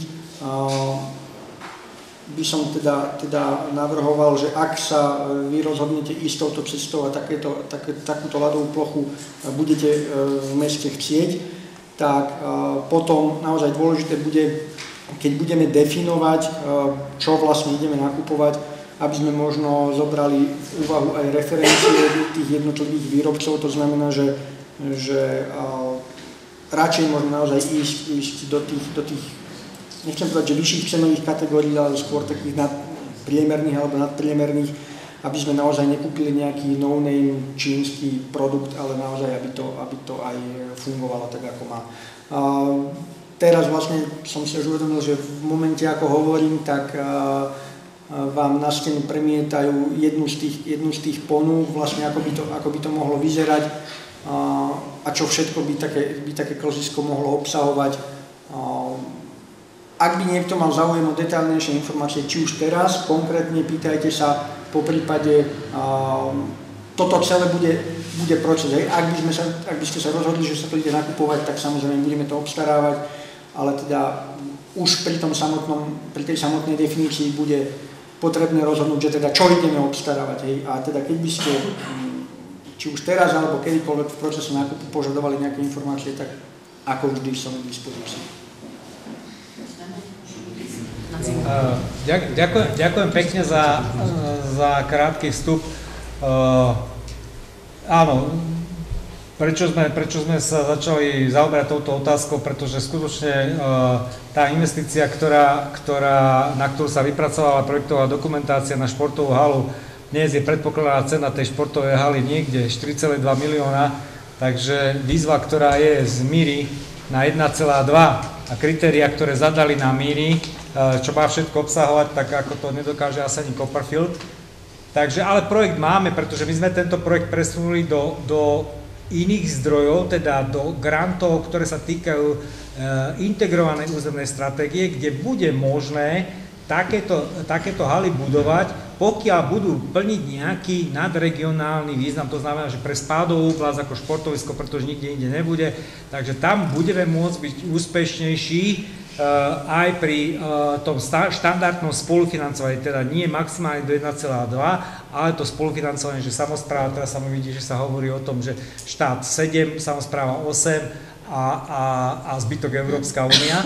Takže uvidíme, takže sme to presunuli, projekt tam máme, ale Vzhľadom na to, že sme tieto peniaze mali alokované na športoviská, tak, e, tak my momentálne nevieme vôbec, aká sa bude vyvíjať aj, aj situácia s energiami a podobne. Tak sme sa snažili e, nájsť riešenie pre, do, pre nejakú investíciu do športovej infraštruktúry, pretože keď už tam tie peniaze boli a teraz teda sa to bude odkladať kvôli tomu, že, že ten Rius trošku mešká, tak teraz sme hľadali využitie pre ten multifunkčný priestor, ktorý tam je, lebo momentálne my na zimnú aktivitu športovú nemáme nič v meste. Nič. A e, zatiaľ teda e, by, sme, by sme skúsili toto, pokiaľ... A? Pokiaľ, pokiaľ teda by sme, pokiaľ by sme teda e, boli úspešní v tom, že tí ľudia pozitívne na to zareagovali, hlavne teda tie malé deti, ako tam boli, tam sú také ešte, špeciálne vodítka po tom syntetickom mlade a je tam požičovňa korčuli k tomu napríklad v tomto konkrétnom prípade, ale bude sa to musieť obstarávať, samozrejme, že tam potom sa musia vyhodnotiť tie ponuky, ako kolega hovoril, ale asi takýto zámer by sme tam chceli v tom športom areáli, aby, aby tie deti s tými rodičmi a eventuálne aj, aj, aj väčšie deti mali možnosť niekde, niekde teda nejaký zimný šport e, robiť vo voľnom čase a energeticky to nebude nákladné, pretože viete, že tie umelé, umelé lady, ktoré sú, ktoré sú dnes, e, dnes v prevádzke tu v, niekde v okolí, tak sa zápasia s obrovskými, s obrovskými nákladmi na energie a to ešte energie boli starými cenami. Takže tadiaľ to by som ako veľmi nerád vám navrhoval nejaké riešenie alebo nejakú alternatívu, ale keďže ten priestor tam je a tie klimatické podmienky sú také, aké sú, že ten prírodný ľad veľmi ťažko uh, máme k dispozícii a keď teda za strašných peňazí, tak možno niečo také, čo by možno začalo už e, tie deti v tých najmenšie, tom najmenšom veku e, nejakým spôsobom motivovať k tomu pohybu, možno s tými rodičmi, tak ako ste to videli. Takže toto zatiaľ kolega našiel a je to zase o tom, že tento investičný zámer taktiež budeme musieť teraz schváliť, pokiaľ to budeme chcieť do toho športoviska, pretože po tých všetkých dotazoch, ktoré sme mali na tú firmu, a teda aj na túto, pretože to sú, to sú, to sú zahraniční dodávateľia, niektorí z nich, tak áno, oni deklarovali, že vedia tam garantovať e, dodanie, vedia tam garantovať, že je to možné prevádzkovať, jednoducho nebude to na ťažký profesionálny hokej, pretože tie mantinely nesplňajú nejaké podmienky, pevnosť a tak ďalej. Bude to ale splňa to všetky bezpečnostné kritéria, ktoré by, by mohli byť na takéto rekreačné pohybové aktivity na tých korčuliach možné tam v zime zabezpečiť. Takže chceli by sme oživiť tamto multifunkčné ihrisko, priestor tam je, je tam tá, tá jednoduchá šatňa, ktorá tam je k dispozícii pre nejakého správcu, takže toto by mohol byť taký neveľký projekt, e, ako bola plánovaná tá hala, ale zase by sme sa s tou športovou infraštruktúrou, s tou výbavou na tie voľnočasové nejaké pohybové aktivity podali ďalej, teda hlavne v zime, pretože v zime, v zime je, je to o, trošku, trošku už problém aj kvôli tej klimat, e, klimatickým podmienkam, ale aj kvôli tej energetickej náročnosti. Pretože my sme sa informovali aj v Hodruši Hamroch a tam, tam je to teraz je momentálne problém, kto tam vlastne uhradí tie, tú spotrebovanú energiu, pretože čakali tam nejakú ústretovosť a spolufinancovanie a a neviem, nejak si tam nerozumeli, pretože tam vyskočili dosť vysoko tie požiadavky. Nech sa páči, ty máš niečo bližšie. Ja som sa informovala, lebo boli také názory, že vlastne tú hokejovú, hokejovú tá plochu, e, klasicky ako robený hlad cez elektriku, tak na Hodruši to bolo za tie 4 mesiace skoro 30 tisíc a to ešte nebola elektrika minulý rok, e, vlastne november, december, zhruba vyššia a teraz im tam vyšiel aj nedoplatok, no a nemajú kto zaplatiť.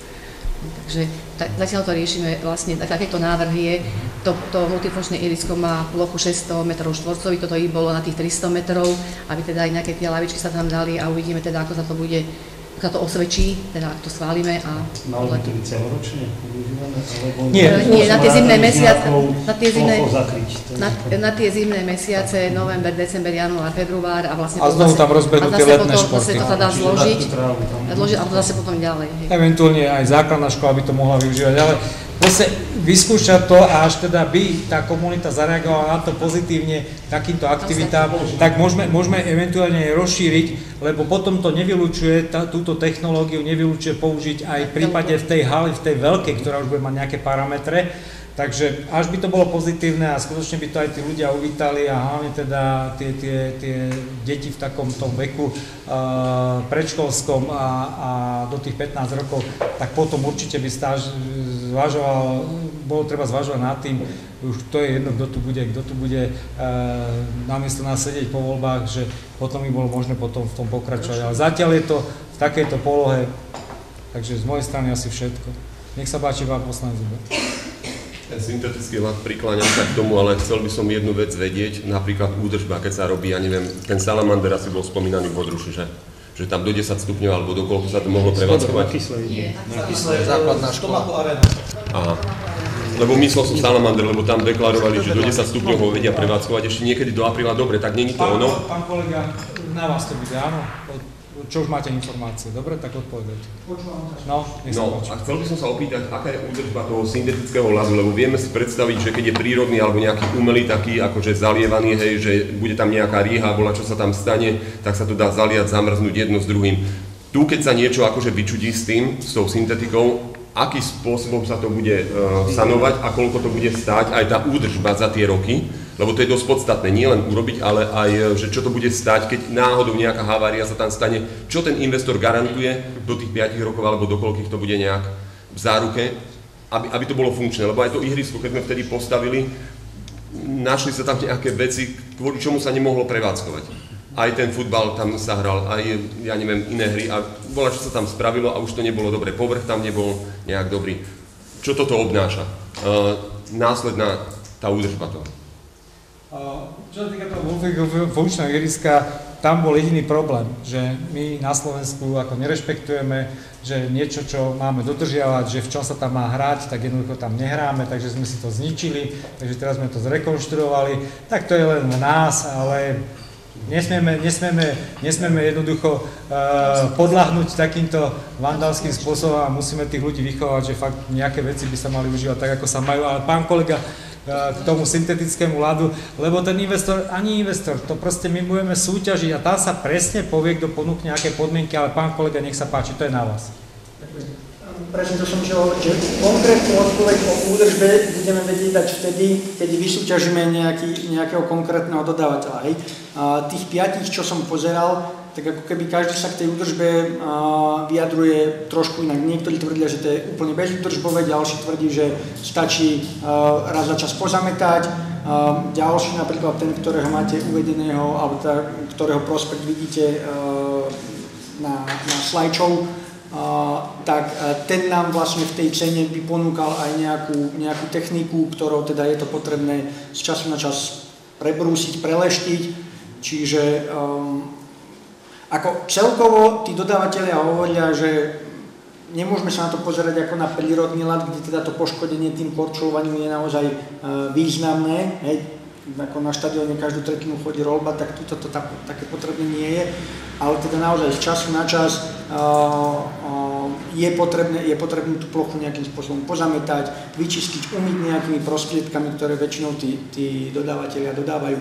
Uh, ešte možno k tej trvácnosti, ak som tam zachytil taký, takú otázku, tak napríklad zrovna tento dodávateľ, ktorého prospekt vidíte, tak ten ponúka záruku, myslím, že dokonca 12 rokov, s tým, že tie panely sú obojstranné. To znamená, že keď sa obrúsi a zjazdí jedna strana, ešte sa to dá otočiť a dá sa používať druhá strana. Ale neviem presne povedať, že či tých 12 rokov je keby už použitie obidvoch stran, alebo, alebo že teda či to je 6 plus 6, 6 rokov jedna strana, 6 rokov druhá strana, alebo je to 12 rokov jedna strana, 12 rokov druhá. Čiže konkrétnu odpoveď o údržbe budeme vedieť dať, až keď to budeme mať vysúťažené. Teraz, kto, kto ešte? tak tam tie korčule, ktoré sú na to povečiavanie, oni sú na to korčulovanie, tie špeciálne korčule, ktoré sú dané s tou plochou, alebo sú tam normálne použiteľné akékoľvek bežné korčule. Mimo, da, mimo dámskych s, s tým Drvivá väčšina tých dodávateľov zase hovorí, že sú tam použiteľné všetky druhy korčulí. Uh, fakt je, že pravdepodobne sa tie korčule na tom rýchlejšie opotrebovávajú, lebo je to trošku iný materiál. A áno, dôležité je, že nepoužívať tam tie s tými zúbkami. Takže ja som stále rozmyslel, že keď, keď uh, teda je možné použiť bežné korčule, že na čo sú tam ešte aj tieto dodávané, ale potom naozaj to môže dávať zmysel, že e, teda tá požičovňa zabezpečuje to, aby každý sa dostal k korčuliam, aj teda tí, ktorí majú bežne doma. doma. Takže bude tam vlastne brúsenie tých korčul priebežne, priebežne brúsiť popri tom, popri Áno, jedna z tých ponúk, ktorá nám došla, tak obsahovala taký balík, že uh, 160 párov korčulí, mantinel, brúska, leštička, a ešte aj mm, teda tá, e, tá umy, nejaký nástroj na umývanie toho ľadu. Tamto. Je tam niekde aj brúška, ešte poďme. No ešte, je tam metalická, takže to je, to je ako k tomu a ale to je viac pre tých ľudí, ktorí, lebo dneska je úplne bežné, že hlavne deti, keď im rastú nohy, tak si požičiavajú a nekupujú nové, tak preto to táto firma, ale tak budú tam viaceré sa uchádzať, e, ako sme ich oslovili, tak, tak jednoducho toto je napríklad len aby pre vašu ilustráciu, že, že takéto možnosti sú. Čo je veľmi zaujímavé, že klznosť týchto ľadov sa už e, skutočne vyrovnáva tým, tým umelým ľadom klasickým, že tam už je rozdiel nejakých 15%, takže tá kvalita tam už je niekde úplne inde, ako boli tie klasické pred desiatými rokmi. Nech sa páči, ešte pán poslanec považa na vás má. No, e, ja sa chcel spýtať, tam netreba nejakú projektovú dokumentáciu, to bude len e, čisto len výberové konanie a... verejné obstarávanie. Verejné obstarávanie, tak, Tam musí byť konkrétne zadanie, presné zadanie, až chcete do toho zadania komunikovať s projektovým manažerom, nech sa páči, ktorý budete chcieť ktokoľvek, buď zo športovej komisie alebo z vás, obráte sa na ňo, presnejšie vám bude vedieť odpovedať, pretože oni tie firmy, niektoré tie stanoviska dajú hneď, niektoré, niektoré až neskôršie zareagujú to, čo sa priebežne my na to pýtame, lebo my musíme teraz vyšpecifikovať to zadanie. A aby sme si zase tie firmy nevylúčili, že to bude schopná len jedna, tak asi sa snažíme nastaviť tak, že, že aby sme tie hlavné veci, ktoré my chceme dosiahnuť, Možno, že ani nie tie korčule, možno, že nejakú životnosť, alebo nám servis bude dúkať ináč, alebo celkovo tá vstupná cena bude iná, ale toto bude o tom, že, že bude veľmi dôležité zadať, zadať to, čo my vlastne od tých dodávateľov chceme a to môžete kedykoľvek e, konzultovať aj, aj s pánom Udicom bez problémov. Pán poslanec Zuber. Ešte troška ma zaujíma jedna taká vec, tí rodičia, keď investujú do tých korčulí, dáme tomu na to prírodné jazero hore do Hodruši alebo hoci kde, kde sa chodia korčulovať, a teraz by povedali, tak ja nebudem investovať, nebudem si požičiavať, lebo neviem, čo to bude stáť jedno s druhým. A aj tá firma o tej údržbe, že či vlastne aj to požičovné, ako to bude spravené, ako sprevádzkované, za koľko peňazí, či ľudia to budú chcieť. A aby, aby to. To, to nebolo. To, to si budeme prevádzkovať my a to bude náš majetok. No áno, ale to budeme tiež asi niečo za to požičovné chcieť. No ale to je otázka, ako sa to nastaví, ako, ako chceme tých ľudí prilákať tam. No, samozrejme, že tam nespravíme z toho uh, ziskový podnik, veď to robíme pre tých ľudí v prvom rade. No, aké náklady s tým budú a hlavne tá údržba by ma zaujímala, keby už tie firmy dobre budú oslovené, tak nech sa vyjadria, či by aj tú údržbu možno oni vedeli prevádzkovať, lebo odborne zdatná osoba bude asi tá, ktorá tie e, kladiska postaví, aby ich aj, aj rekonštru, rekonštruovala v prípade alebo udržiavala. A čo by to ešte stálo popri tom všetkom tej výstavbe? To sa priznám, že e, z tej komunikácie, ktorú doteraz mám s tými firmami, tak až také zložité to nepripadalo. Oni tam naozaj zdôrazňovali to, že e, väčšina tých systémov je úplne jednoduchá, jednak na rozloženie a zloženie, že teda väčšina z tých firiem je ochotná napríklad ponúknuť človeka na, to prvé zostavenie a potom teda každoročné rozobratie a zostavenie by sme si mali robiť vo vlastnej režii a o, ako ešte raz, čo sa týka tej reži, tej, tej údržby, ja si myslím, na základe tých informácií, ktoré mám od tých firiem, tam ten stroj, čo tam bol, tak možno ten bude stať nejaké 2-3 tisícky, respektíve ten bude, ten bude v tej cene, ale potom, čo tam popisovali, tak naozaj iba nejaké, nejaké leštiace prostriedky, čiže nič, žiadna veda tu nie je. Není to, že teraz, ak umelý ľad v Odruši stojí 30 tisíc eur ročne elektrina, tak toto určite nebude stať 10 tisíc eur lešťace prostriedky. Hej. Viete, čo sa môže stať? Spravíme nejakú údržbu a firma povie potom, ktorá to dostavila, že ste to udržiavali prúse. A toto, a toto je problém. To sa môže. To, to sa môže stať. Bežne sa to môže stať. Zle ste to používali. Napríklad obu, keď si kúpite a niekto vám povie pri reklamácii, ale do dažďa ste ju nemali nos.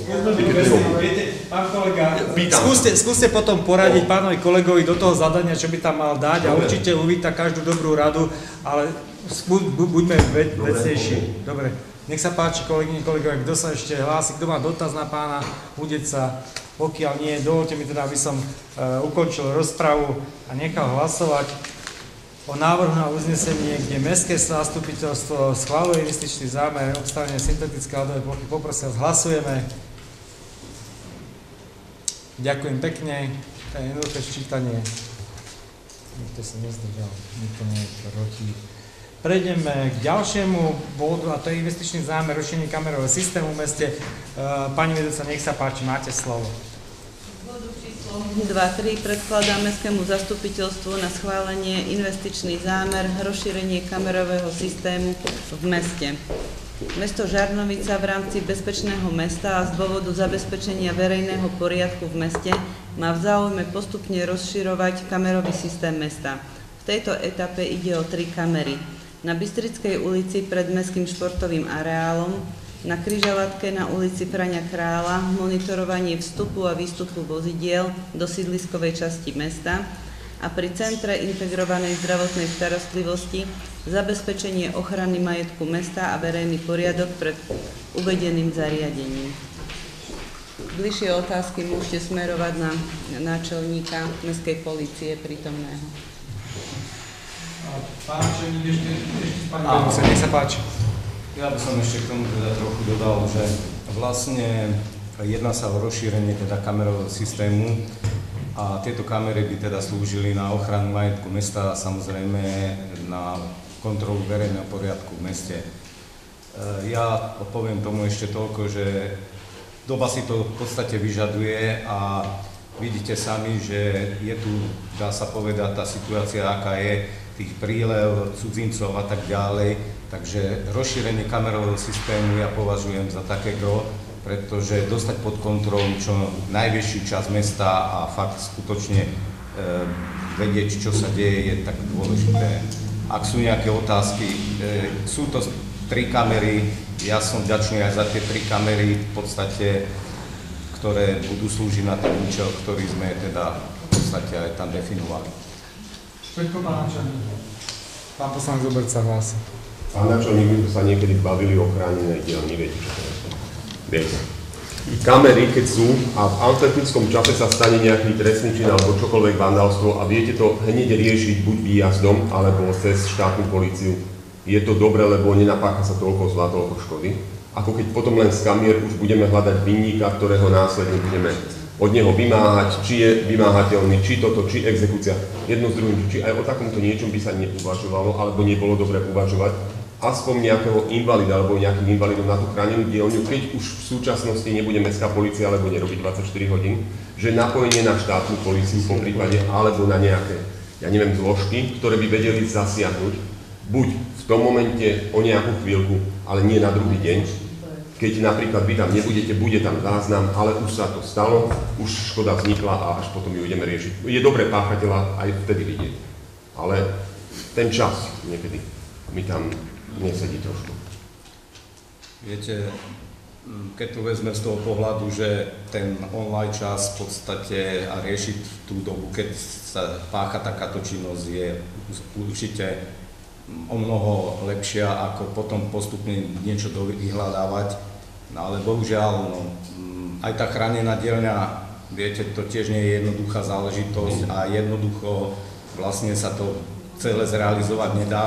Ja som videl teraz naposledy v Žiari chránenú dielňu, bol som si to pozrieť. E, viete, sú to ďalšie a ďalšie finančné prostriedky pre toto mesto a vybudovať to, viete, nie, nie, nie je dobré to vybudovať len tak, že niečo máme, ale skutočne už potom sa vložiť do toho a spraviť to ozaj na takej úrovni, ako to treba majú oni. Ja nevravím, že je to iné mesto, majú iné možnosti, iné financie, majú o mnoho viac kamier, mal som to možnosť sa, si tam to pozrieť. Určite, ale robíme na tie podmienky, aké máme a snažíme sa potom dovyhľadávať mm, tých rôznych našich klientov.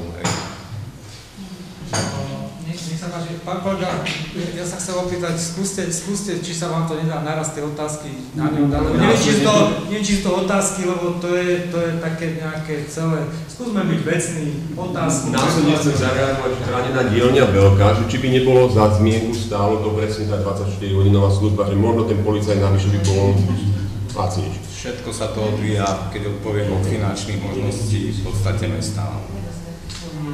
Nech, nech, sa, nech sa páči, ešte teraz neviem, kto sa skôr hlásil. Nech sa páči. Ja by som chcela len doplniť informáciu, že od tej chránenej dielne, keby bola chránená dielňa, tak by musela byť vlastne aj 24-hodinová služba policajtov. Tým pádom by sa musel navýšiť počet policajtov minimálne na 17, nie 6. Tým, že máme kamerový systém a chceme doplniť ďalší kamerový systém, e, boli by ste možno aj vy, aj občania sú, boli prekvapení, keď za posledné obdobie bola veľká objasnenosť práve na kamerovém systéme, ktorý momentálne funguje, či sa týkalo, či sa týkalo vytrhania vytrhania retardérov pred slovenskou šporiteľňou, prevratenia čretníkov, pomalované značky a kopu ďalších vecí ešte, takže sami páchatelia boli prekvapení, keď im zaklopali policajti na dvere. Takže aspoň v takomto režime, pretože to je fakt to o finančných prostriedkoch a e, štátna polícia skôr volá na pomoc mestskú políciu, pretože oni majú celý, celú túto skladovú oblasť Vodrušu a Plakovskú dolinu, takže oni, keby tu mal byť e, e, človek v chránenej dielni bez príslušníka mestskej polície a bude volať štátnu políciu, oni môžu byť v Klaku, v Grúni, Vodruši, takže nebolo by to aj tak tú chvíľu hneď len toľko doplnenie informácií. Pán kolega Černak, nech sa páči. Ja si myslím, že rozšírenie, rozšírenie toho, toho kamerového systému je ten základ, ktorý potrebujeme, aby, aby bolo e, mesto čo najviac monitorované. Ak pán kolega myslel, myslel chránenú dielňu, pravdepodobne myslel pult centrálnej ochrany, kde niekto e, systematicky pozerá na kameru. V dnešnej dobe, pri, dnešnom, e, pri dnešnej možnosti internetu, tá, ten pult centrálnej ochrany to je v podstate, koľko máme kamier, tak toľko okienok v jednom, v jednom monitore a v dnešnej dobe to môže byť niekde, kde to už funguje. To môže byť v akomkoľvek meste, kde to funguje, tak môžeme, si, môžeme ich požiadať, aby si tam pridali dva monitory, ktoré bude Žarnovica, kde, bude, kde to bude riešené. Takže e, celé sa to dá riešiť, dá riešiť rôzne, ale e, si myslím, že rozšírenie kamerového systému je ten základ, ktorý musíme, ktorý musíme tu. Ďakujem.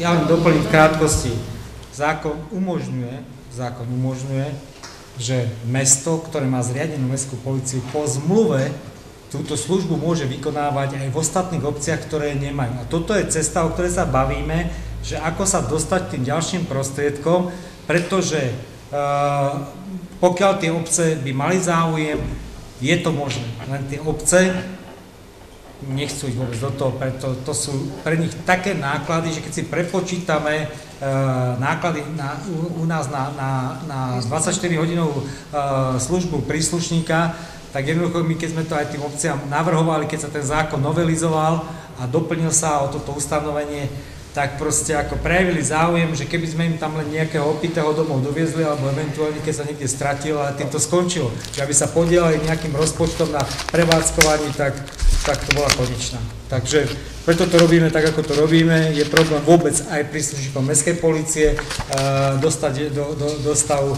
tak asi ja len toľko, ako si ty hovoril, že áno, pokiaľ je to technicky možné, že skutočne tá obec môže mať tam tie svoje dve, tri okienka, je to všetko technicky možné, len my by sme museli mať takúto zmluvu v súlade s platnou legislatívou podpísanú e, s tou obcov a samozrejme, že potom mestská policia musí toto nahlasovať, že takýto priestor je už monitorovaný mestskou políciou a mestská policia tam má právomoc mesta Šice, síce Žarnovica, zakročiť. Hej. Toto ale je to trošku také uh, legislatívny uh, limitovaný proces, ktorý tam musí prebehnúť.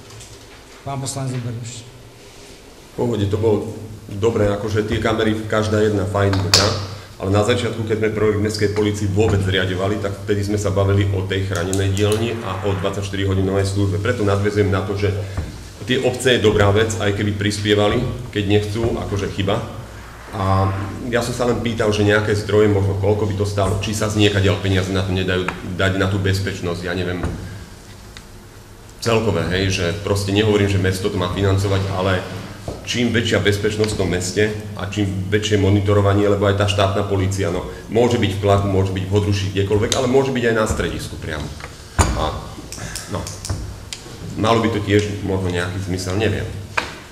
Keď už o bezpečnosti sa celkovo bavíme, tak čím ďalej zájdeme v tej bezpečnosti, tým lepšie pre mesto a pre tých ľudí. Áno, len treba podotknúť, že štátna policia nemá 2,5 tisíca príslušníkov, takže tá bezpečnosť asi uh, sa nedá celkom zvládať tak, ako, ako by si každý predstavoval. Takže tie kamery v tomto momente sú asi niečo, čo môžeme, čo môžeme spraviť. Pán náčelník ešte. Ešte by som ja tak doplnil bola tu taká myšlienka pána policajného prezidenta, že by v podstate sledovali tieto kamery aj policajti štátnej policii, lenže to rýchlo zhaslo, pretože zistili, že ani oni nemajú dostatok ľudí a takisto na obvodnom oddelení policajti slúžia v noci vonku, takže tie kamery by v podstate nemal kto sledovať ani tam. Hej. Ja poviem na margo toho, že Veľa, veľa, veľa razy sa nám stáva, že napríklad s týma policajtami sa nestretneme za celú noc, pretože oni sú v tých ďalších častiach obvodu, takže koľko rázy poviem, že v noci, keď sme vonku, tak možno, že sa tak minieme a to je tak všetko. Takže... Kolegy, kolegovia, môžem e, ukončiť rozprávu k tomuto bodu. Pokiaľ sa nikto nehlási, dovolte mi teda, aby som nechal hlasovať o návrh na uznesenie Mestské zastupiteľstvo schváluje investičný zámier rozšírenie kamerového systému v meste, tak ako máme v texte poprosím. Hlasujeme. Ďakujem pekne. Nikto sa nezdržal, nikto nie je proti. Prejdeme k stanovisku hlavnej kontrolky, to je bod 3.1. Pani inžinierka, nech sa páči, máte slovo. Takže v podstate e, tým, že sa neschválil investičný zámer, e, nebudeme teda prikračovať ani k e, schváľovaniu návratných zdrojov financovania. Napriek tomu teda si dovolím vám povedať v krátkosti z môjho stanoviska, aspoň teda ako vyzeráme s dlhovou službou.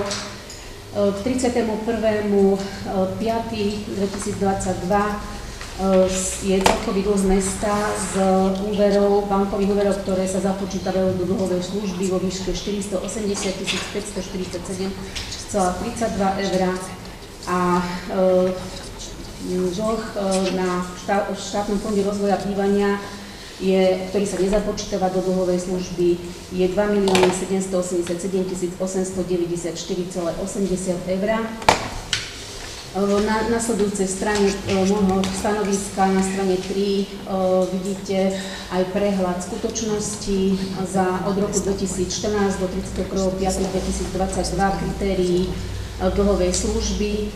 Prvé kritérium, kritérium, kde teda nesmieme prekročiť 60% skutočných bežných príjmov, dosahuje 31.5. vo výške 8,55% a druhé kritérium splátok dosahuje 5,56% čo teda neprekračuje 25% tohto kritéria. V dolnej časti tabulky v riadkoch máte predpoklad vývoja výšky dlhu v prípade, že by sme teda brali úver, čo teda v, tejto, v tejto chvíli nie je už aktuálne. A na ďalšej strane, na štvrtej strane má, som pre e, názornosť e, dala predpoklad vývoja dlhovej služby bez e, prijatia návratných zdrojov financovania k 36., kde by teda po zohľadnení splátok k tomuto dátumu a teda e, činilo prvé kritérium 8,47%, druhé kritérium 5,56%. Čiže e, k, týmto, k tomuto dátumu a teda aj k 31.5. sme plnili podmienky pre prijatie návratných zdrojov financovania a teda aj do ďalších mesiacov ich splňa naše mesto. Toľko od mňa. Dobre, ďakujem pekne, keďže teda uh, nebol schválený ten investičný zámer. Ale takže, to berie len na vedomie, čiže áno, môže dať takže, takže môžete toto dať, zobrať na vedomie, pretože nie je to nič záväzné. A ďakujem pekne pani hlavnej, pani hlavnej kontrolky za, za prenesenie tohto materiálu. Do, chcete sa niekto k tomu materiálu prihlásiť, máte nejakú pripomienku, dotaz, pokiaľ nie, nechám hlasovať návrh na uznesenie, kde Mestské zastupiteľstvo berie na vedomie tento materiál, ktorý bol prenesený. Poprosím vás, berieme na vedomie. Ďakujem pekne, nikto sa nezdržal, nikto nie je proti. A...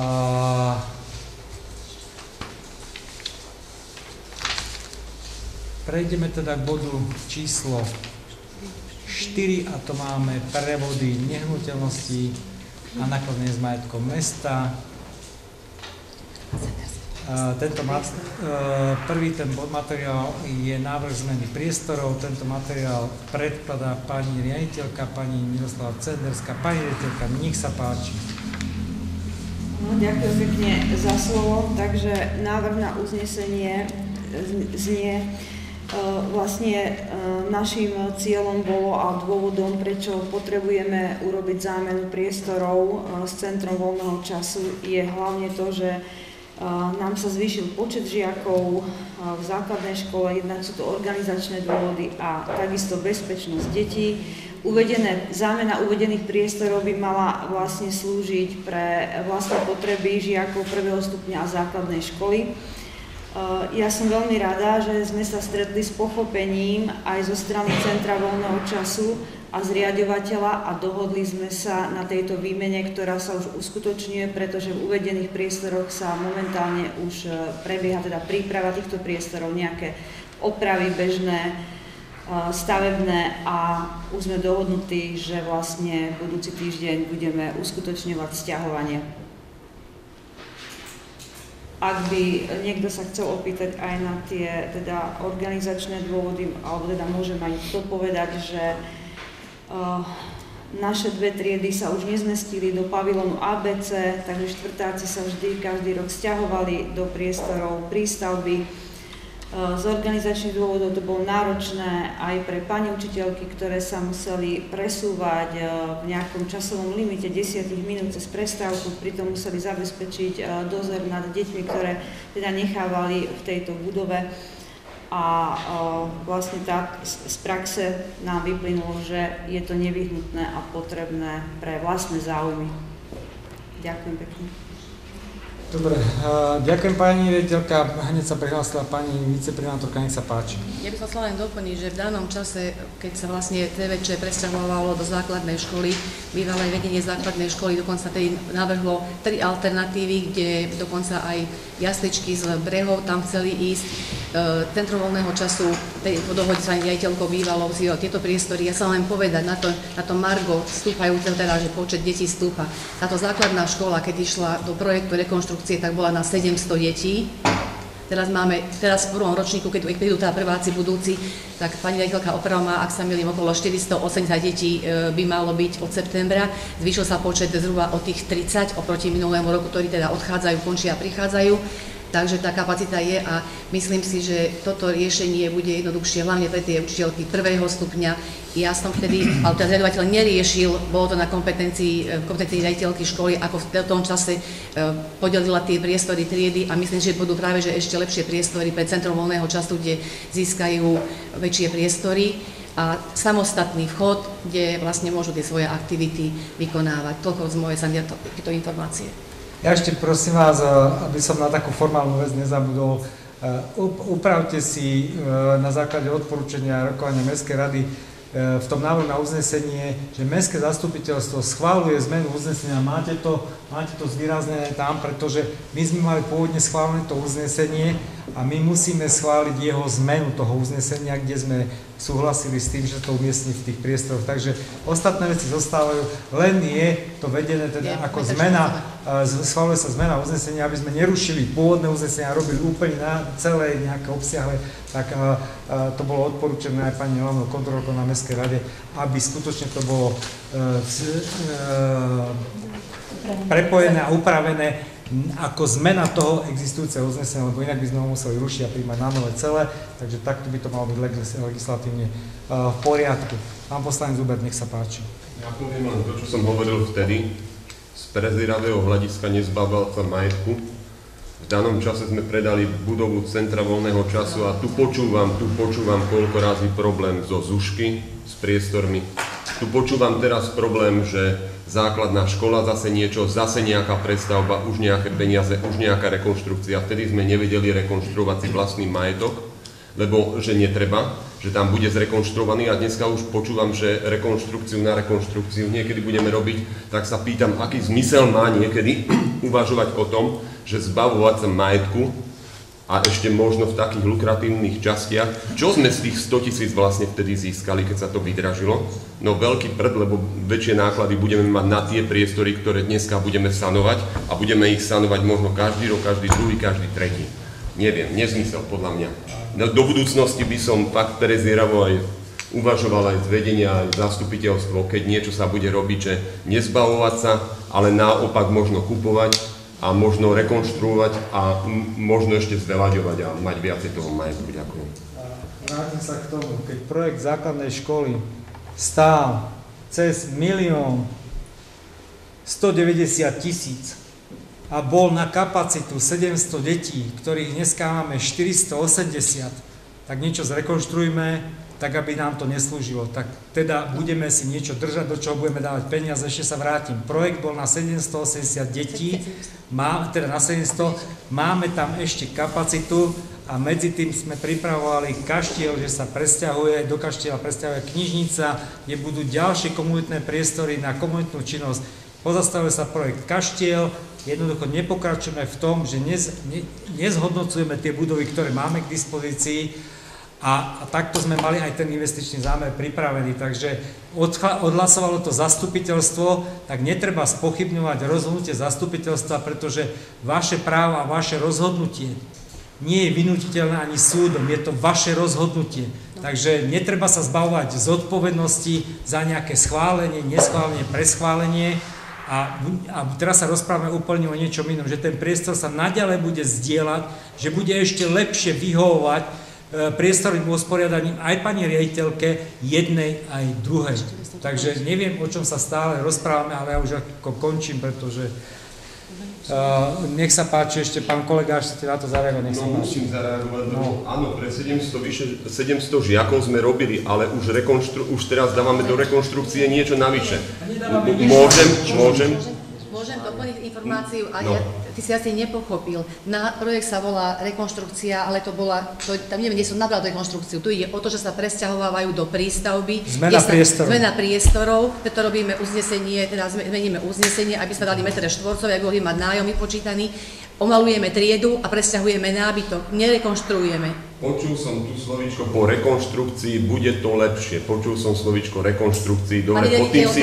Pod tým si... Prerábaš niečo? Prosím vás, ako pán kolega, dobre. buďme vecní, naštudujeme si materiály, hľadajme dobre. to, čo tam je vecne, ale tieto, tieto virtuálne debaty, uh, pani riaditeľka, máte ešte k tomu niečo skutočne? Nie, nie, ako tam sa len malujú priestory a opravy drobné sa robia. Tak, to boli niekde poličky, skrinky a obrazy alebo niečo podobné. Pán kolega, prosím vás ešte... Dobre, reakciu na to ešte raz. Povedal si, že zastupiteľstvo nemalo. Ja si myslím, že ani mesto tú budovu nemalo návrh vôbec dať na to, aby sa predávala. Ale návrh dalo mesto, aby sa predávala a zastupiteľstvo schválilo. Schválilo, ten návrh ani nemal byť tom zastupiteľstve. No, to je vyložené kompetencia zastupiteľstva, pán kolega. Teraz sa tu ideme rozprávať. Ne, mieru nejakého rozhodovania prenechá vždy na niekoho iného. Ako, a všetko to, to, čo je dobre, tak tomu sa hlási, ako je to geniálne, ale skutočne ja si vážim každého názor a aj keď je negatívny, ale proste nech je to vecné.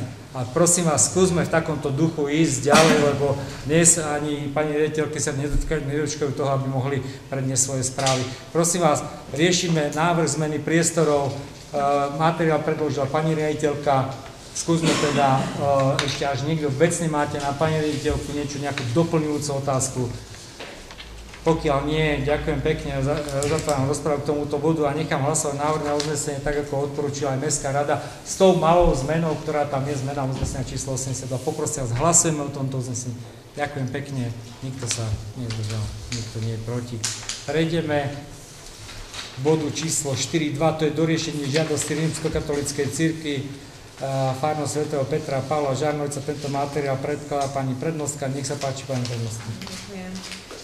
Žiadosť rímskokatolíckej cirkvi farno svätého Petra Pavla Žarnovici bola prerokovaná na zasadnutí Mestského zastupiteľstva konanom dňa 27. apríla 2022, kde Mestské zastupiteľstvo schválilo zámer predať vyššie uvedený pozemok podľa ustanovenia paragrafu 9a odsek 8 písmena E zákona o majetku obci. Zámer previesť predať pozemok e, bol zverejnený na úradnej tabuli mesta na webovom sídle mesta dňa 6. júna. Po dňu konania zasadnutia mestského zastupiteľstva tak bude splnená zákonná povinnosť zverejniť zámer mesta vyššie uvedeným spôsobom najmenej na 15 dní pred schvalovaním prevodu mestským zastupiteľstvom. Dobre, kolegyne, kolegovia, otváram k tomuto bodu alebo tejto žiadosti rozprávu. Je to vlastne doriešenie tej žiadosti, ktorá bola v minulosti a s vami schválená. Máte niekto nejaký dotaz, pripomienku alebo na objasnenie návrhu uznesenia? Pokiaľ nie, dovolte mi, aby som teda ukončil rozprávu k tomuto bodu a nechal hlasovať o návrhu na uznesenie, tak ako bolo schválené aj Mestskou radou, odporúčané schváliť Mestského zastupiteľstvo, kde Mestské zastupiteľstvo schváluje v súlade tak, ako je v texte. Poprosím hlasujeme o tomto uznesení. Ďakujem. Nikto sa nezdržal, nikto nie je proti. Prejdeme bodu 4.3, to je návrh na kúpu nehnuteľnosti budovy a pozemkov mestskej časti, keďže nebol schválený investičný zámer. Tento materiál stiahujem z rokovania. Prejdeme k bodu číslo 4.4, to je žiadosť pani Magdaleny Černákovej, Tehelná ulica. Tento materiál predkladá pani e, prenostka magistra Rybárova. Nech sa páči, pani prenostka. Dňa 19. apríla 2022 bola na mestský úrad Žarnovici doručená žiadosť pani Magdalény Černákovej o kúpu mestského pozemku na Tehelnej ulici o isté vlastníctvo číslo 1788 o výmere 229 m štvorcových za účelom vysporiadania pozemku zastávaného domom. Žiadosť pani Magdaleny Černákovej bola prerokovaná na zasadnutí Komisie výstavby, investícií a životného prostredia, ktoré sa konalo dňa 16. júna 2022 a následne na zasadnutí Komisie financií a správy majetku, ktoré sa konalo dňa 13. júna. Komisia výstavby ako poradný orgán Mestského zastupiteľstva súhlasí so predajom pozemku, ale až po vydaní rozhodnutia o dodatočnom povolení existujúcich stavieb. Komisia financií a správy majetku odporúča e, kúpnu cenu za pozemok stanoviť vo výške všeobecnej hodnoty pozemku stanovenej za účelom predaja podľa osobitného predpisu. Pre účely stavebného konania a dodatočnej legalizácie stavieb komisia odporúča, aby so žiadateľkou bola uzavretá zmluva o uzavretí budúcej kúpnej zmluvy s tým, že do doby legalizácie stavieb a uzavretia kúpnej zmluvy bude žiadateľka za zabratie a užívanie mestského pozemku uhradzať odplatu vo výške 0,75 eur za meter štvorcový. Dobre, uh, všetko? Áno. Ďakujem pekne, nech sa páči. Tejto žiadosti k tomuto bodu otváram rozprávu, nech sa páči.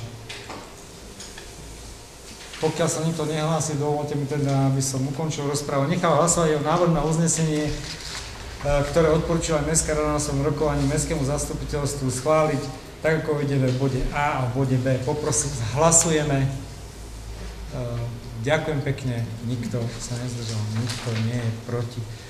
Prejdeme k ďalšiemu bodu a respektíve ďalšej žiadosti, to je žiadosť pani Miriamy uh, Šnírerovej. Tento materiál taktiež predkladá pani prednostka, nech sa páči. Pani Miriam Šnírerová požiadala mesto o kúpu pozemku, ktorý je zapísaný no, v liste vlastníctva číslo 1788 v registri C, parciel evidovaných na katastrálnej mape parcel číslo 1339 lomeno 6 o výmere 54 m štvorcových. Pozemok sa nachádza na námestí Slovenského národného povstania v Žarnovici za bývalým areálom CVČ medzi nehnuteľnosťami žiadateľky a vodným tokom. Žiadosť bola prerokovaná na zasadnutí komisie výstavby, investície životného prostredia a následne na zasadnutí komisie financií a správy majetku. Komisia výstavby investície životného prostredia odporúča odpredať pozemok parcela CKN číslo 1339 lomeno 6 o výmere 54 m štvorcových za účelom prístupu dopravného napojenia k existujúcemu rodinnému domu postavenému na pozemku parcel CKN číslo 1346 lomeno 2. Komisia financia správy majetku odporúča predaj pozemku vykonať podľa ustanovenia paragrafu 9a odsek 8 písmena E zákona o majetku obci dôvodu hodného osobitného zreteľa, ktorý spočíva v tom, že ide o predaj pozemku, ktorý mesto nevyužíva. Pozemok slúži výlučne iba ako prístup k nehnuteľnostiam, k pozemkom a k stavbe vo vlastníctve nadobúdateľky z verejného priestranstva z miestnej cesty na námestí SMP v Žarnovici. Predajom pozemku inej tretej osobe by sa nadobúdateľke zamedzil prístup k nehnuteľnostiam, ktoré sú v jej výlučnom vlastníctve. Kúpnu cenu za pozemok komisia odporúča stanoviť vo výške 30 eur za meter štvorcový. Ďakujem pekne. Prosím vás, tam je taká malá chybička v tom materiále, síce v uznesení je to dobré, na začiatku si opravte, je to žiadosť pani Miriamy Šnírerovej, Martina Rázusa, ale Prievidza, nie Žarnovica, poprosím vás. Tam je, tam je taká chybička, je to tam opravené v tých materiáloch. Ale to mi chyba v písaní. Dobre, nech sa páči, k tomuto, tejto žiadosti máte, máte nie, otváram rozprávu, nech sa páči, kto sa hlasí do rozpravy. Pokiaľ nie, dovolte mi teda, aby som ukončil rozprávu a nechal hlasovať o návrh na uznesenie, kde Mestské zastupiteľstvo schváluje v súlade s ústavem paragrafu 9 odstavec 2 písmeno A zákon na národnom tak ako je uvedené v texte, poprosia, hlasujeme. Ďakujem pekne, nikto sa nezdržal, nikto nie je proti. Prejdeme k ďalšej e, žiadosti a to je žiadosť e, pána Martina Kolíneka, ulica na Gremenici, nech sa páči. Tento materiál taktiež predkladá pani prednostka. Ďakujem. Na Mestský úrad v Žarnovici bola 13. mája 2022 doručená žiadosť pána Martina Kolineka o odkúpenie pozemku parcela CKN číslo 1637 lomeno 1. Žiadosť je odôvodnená tým, že uvedenou parcelou prechádza prístupová cesta k jeho rodinnému domu na ulici na Gremenici. Stanovisko oddelenia výstavby investícia životného prostredia neodporúča pozemok odkupovať, nakoľko ide o prístup k dvom existujúcim rodinom, rodinným domom a jeho odkúpením nie je zaručené vyriešenie susedských sporov medzi vlastníkmi stavieb. Žiadateľa možno odporúčiť v prípade pretrvávajúcich sporov na občianskoprávne konanie. Táto žiadosť bola prerokovaná aj na komisii výstavby investícia životného prostredia. Tá neodporúča odkúpiť pozemok parcel CKN číslo 1637 lomeno 1 a Komisia financií a správy majetku sa jednomyselne stotožnila so stanoviskom Komisie výstavby. Dobre. Uh, všetko? Uh, nech sa páči, otváram v tejto žiadosti rozprávu. A pán poslanec považuje, nech sa páči. Ďakujem pekne za slovo. Chcem sa opýtať, uh, Slovenský pozemkový fond vlastne je, je tá parcela uh, číslo 2537 na LVčku zapísaná. Tu má Slovenský pozemkový fond, ten je výhradný majiteľ mesta, uh, výhradný majiteľ parcely je Slovenský pozemkový fond, áno. Dobre, ten pán Koliner ma oslovil s tým, že na pozemku toho Slovenského pozemkového fondu sa tam robí nejaká stavba, ktorá ešte nie je schválená, alebo, alebo nie je schválená, alebo nejaká čo to konania, nejaká, nesmiem si spomenúť, čo tam nejaká prístavba, niečo také? Prístrešok. Už to rieši odolenie výstavby ako štátny stavebný dohľad, pretože táto nehnuteľnosť v minulosti e, sa nemuselo schváľovať, lebo teraz prístupy do nehnuteľnosti, takže jednoducho ešte nie Národný výbor alebo kto, e, tam tomu majiteľovi nehnuteľnosti schválil v vstup do nehnuteľnosti, on si to tam vybudoval, sa tam nejaké veci e, vyšli najavo, tak o veľne výstavby bolo na konaní. Viem, že ten majiteľ si dal tiež žiadosť na Slovenský pozemkový fond, odkiaľ tam chodí mestská policia raz jednému, raz druhému. No, takže, takže jednoducho e, Tam tým, že to komisia výstavby neodporúčila ani tomuto žiadateľovi, tak zrejme teda komisia nesúhlasí, alebo teda mesto bude stanovisko, že nesúhlasí ani s tým druhým že to je tzv. domový priestor. Opäť sme len v tej pozícii konštatovania. Áno, konštatovania, pretože jednoducho toto je Slovenský pozemkový áno, fond, ale áno, to, čo je nehnuteľnosť, ten prístrešok, tak to je vedľa, to nie je na tej ceste, to je vedľa. Mhm. Záleží, ako sa dohodne vlastník e, na Slovenskom pozemkovom fonde kvôli tomu prístrežku, plus teda štátny stavebný dohľad o nevýstavbu. Dobre. Dobre, a e, bolo niečo riešené na mestskej policii? Bolo nejaké oznámenie, alebo... Nech sa páči. Áno, oni si, oni si tak by som povedal vlastne také naschvály robia medzi sebou a vlastne bojujú o ten prejazd. E, pán Jelinek, e, či Kolinek, e, pôvodne by mal, pôvodne by mal využívať vjazd tou druhou z vrchol, s vrchom, ale používa túto prístupovú trasu. Takže tam vlastne ten problém, že Áno, tomu, druhému sa tomu pánu Detnárovi sa to nepáči, hej? Áno, jemu sa to zase, pánu Detnárovi sa to nepáči, že tak ja chodí, Takto, my, pardon, aby sme to ukončili, uh, pretože toto pravdepodobne nikomu nebol daný do užívania ako priestor pri kolaudovaní stavby alebo prístup k nehnuteľnosti. Niekto si ho upravil a teraz ho niekto chce zase, zase E, pretože pri kolaudovaní, pokiaľ teda pani vedúca je tu a môže opraviť, keď sa dáva stavba do užívania, tak je stanovené, skadia má ten užívateľ prístup z verejnej komunikácii. Pravdepodobne toto nevyužíval v minulosti, spravil si iný prístup a, a teraz sa o ten iný prístup doteraz nelegalizovaný zrejme sporia. Tak to tam vyzerá. Pani vedúca, viete? Ak môžeme ešte doplniť, pán primátor, pán Debenár, keď dostal stavebné povolenie v minulosti, tak mal povolený vstup, tadiaľ to vlastne, kadiaľ to je, tá je, ale pán Muha bol majiteľ nehnuteľnosti pre pána Kolíneka, tak ten mal povolený údajne vstup z vrchu, ale chodil aj zo spodu. No, asi si, asi si nerobili na v tom čase, teraz si. No. Dobre, takže viac... Pán Demnár má kaďal vlastne vstup? Však SPF. Však SPF, on má... on nejakým spôsobom komunikoval s tým Slovenským pozemkovým Ale on má vstup historicky, keď, on, keď, on už má, on už má stavby. Jemu súhlasil Slovenský pozemkový fond uh, pri kolaudovaní, že môže, uh, teda respektíve pri, pri povolení stavby, že môže uh, využiť tento pozemok ako prístup k svojmu rodinnému domu. A on si vlastne upravil tu ten jazd z Gremenice cesty doprava ku nemu nehnuteľnosti. Dobre, že vydal súhlasné stanovisko a tým môžu používa ako cestu prístupovú, hej? Áno, lebo sme to zistovali na oddelení výstavby, ešte pán Mesiarik si pamätal tú históriu, kde vlastne ešte okresný národný výbor, alebo to dával ten súhlas, že vlastne takto to bolo povolené. Vtedy sa nevyžadovalo mesta nejaké súhlasy, jazdy, vstupy. Tak to riešil vtedy okresný národný výbor. Dobre. Uh, všetko? Ďakujem. Uh, môžem ukončiť rozprávu. Ďakujem kolegyne, kolegovia, teda nechám hlasovať návrh na uznesenie, kde Mestské zastupiteľstvo konštatuje, tak ako je uvedené v texte, poprosím vás, hlasujeme. Ďakujem pekne. Nikto sa nezdržal, nikto nie je proti. Ďalšia žiadosť je tu žiadosť e, od Speedway klubu Žarnovica. Tento materiál taktiež predkladá pani prednostka. Nech sa páči, pani prednostka. Dňa 16. mája 2022 bola na Mestský úrad Žarnovici doručená žiadosť Speedway klubu Žarnovica o uzavretí nájomnej zmluvy na plochodrážny ovál.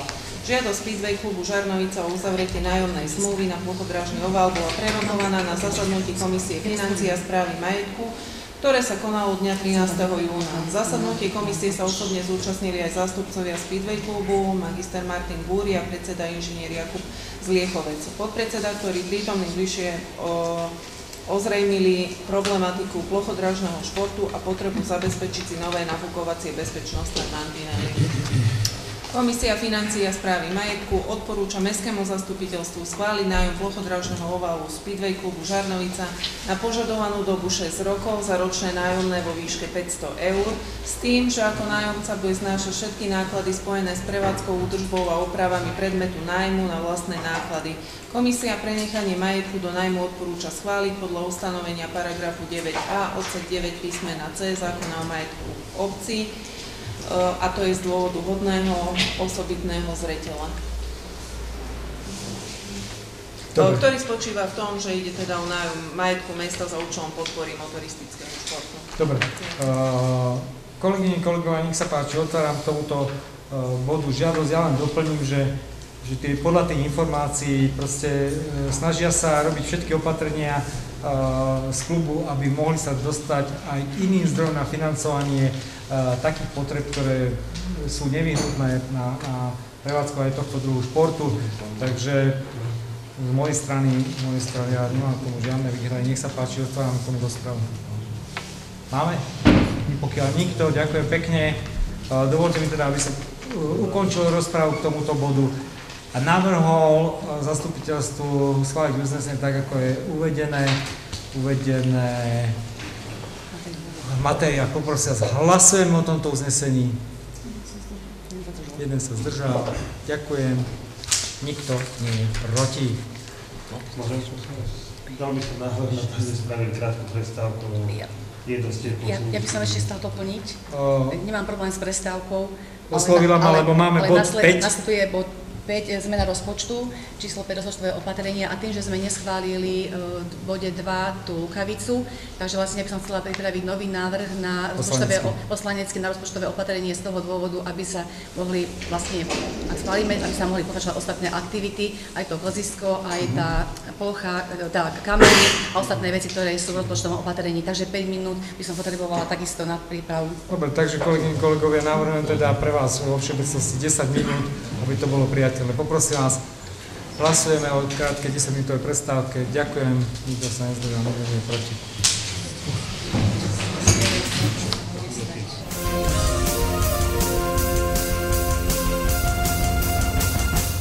Tento program vám na obrazovku priniesla firma Žarnovická energetická, váš dodavateľ tepla a mesto Žarnovica.